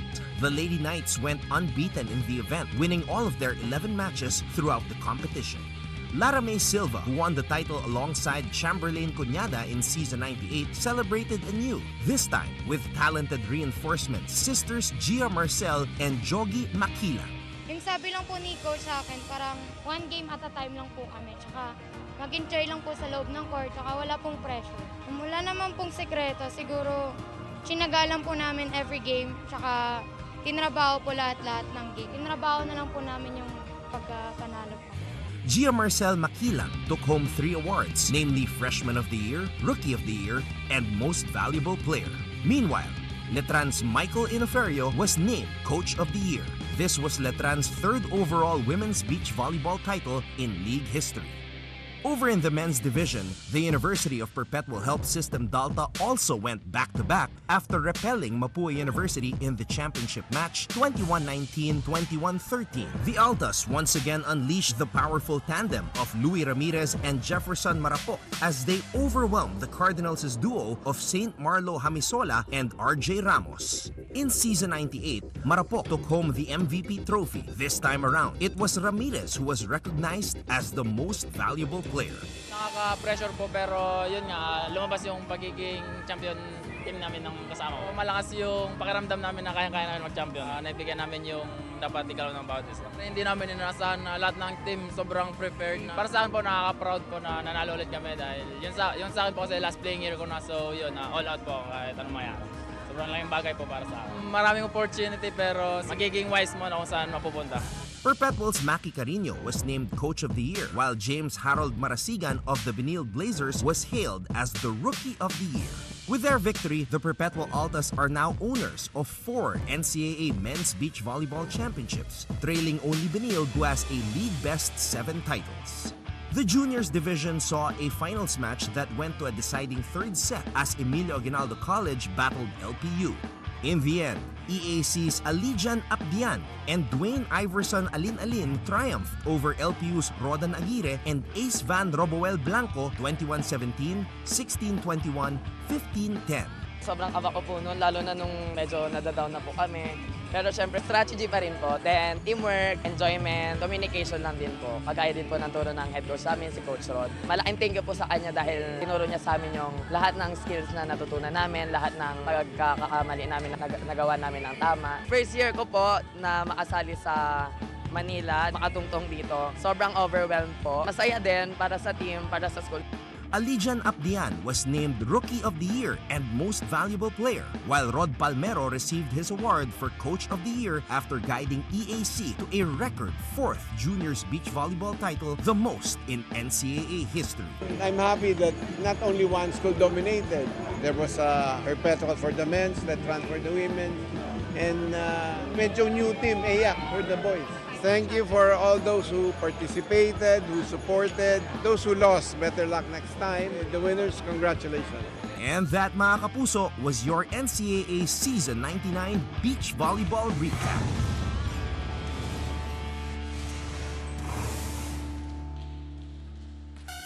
Back to back for Letran and Perpetual. Congratulations for Perpetual in the men's division and the Letran Lady Knights in the women's division. Very competitive. Kakamiss eh, no? Nakamiss. Oo. Subic. Nung 90... 98. Nandun tayo for a week. But again, these uh, two uh, two programs talking about the Letran Lady Knights and the Perpetual Altas took care of business. Na hopefully they can bring that success which uh, Perpetual did last season. Yung Lady uh, Knights uh, faced a lot of injuries but course, yan yung gusto nila eh, jumping off and the springboard going into the indoor volleyball season. Big shout out to Lara Silva, back-to-back champion in beach volleyball, this time with new partners. Last year, it was Chamberlain Cunyada. So this year, nag-adjust si. And also, big shout out to Coach Michael Inoferio because we know he is stepping aside to give way to Coach Oliver Almadro who will now coach the indoor team of Letran. So, exciting times for the Letran Lady Knights, Marts. And, Oh, big thumbs up dun sa bucket hat ni Coach Rod Palmero. Doon ko lang na-realize, Oh. no? Coach Rod is the face of, EAC Oh, volleyball. Di ba? Men's, women's, beach volley to the ju- pati juniors. hawak niya. Juniors. So, yeoman's job. Okay. Dun sa lineup ng Letran Lady Knights, if you guys were able to catch the beach volleyball action, you saw a sneak peek of their newest piece in the TMC, Makilang. Yun yung pumalit kay Chuck Cunyada. Siya rin po yung lumahok sa uh, beach volleyball team nila and will be making her debut in the uh, indoor scene very, very soon. Ang inaabangan ko dito, so last season we had a lot of clips of Coach Roger Goroyev. Quotable quotes. This season, ang inaabangan ko rin, dagdag natin Coach Oliver Almadro and his reactions, his quotes to the ladies, especially in tight games. I, I fondly remember one coverage I had. Kasama ko si Noreen Go. Noreen, if you're watching, miss you. um, I said, yung mga huddle ni Coach Oliver Almadro, parang buffet eh. You get everything. Ah, yeah, true though. You Yeah. get quotable quotes, you get sermon, you get, you get flowery words, everything. History, strategy, kompleto yan. Basta si Coach O. So I'm so excited for him. And uh, lahat ng mga mahilig sa social media, be ready because you're gonna see a lot of Coach Oliver Almadro, Mhm. lalo na sa ating reels. That's right. Oh, Coach This guy Oliver. should, should be getting into the real game as well. I know. Coach Oliver, former player. De, ah, sige, let's not go there. Let's not go there. Pero kaabang-abang po yan. Ano, a few things uh, to look forward to in season 99 of your volleyball tournament. We got one more game in the men's division. Will happen in a few minutes. It's gonna be Perpetual versus JRU. Ladies and gentlemen, maraming salamat po sa inyong pagtutok right here on the show. Coach Hammer, Anton, final few words before we say goodbye in the first episode of Game On this volleyball season. All I can say is the long wait is finally over. Day one, match day number one of NCAA Volleyball is finally here. Great to be back, and we are back in a big way because not only are we covering volleyball, we also have our Game On podcast coming very soon. And of course, Spotify, Apple Music, YouTube, all, all our all platforms that you listen your podcasts hmm. to. Please wait for the first episode to drop. Okay mga kapuso, maraming salamat sa inyong pagtutok sa inyong paboritong sports and entertainment show. This has been Game On! Game On!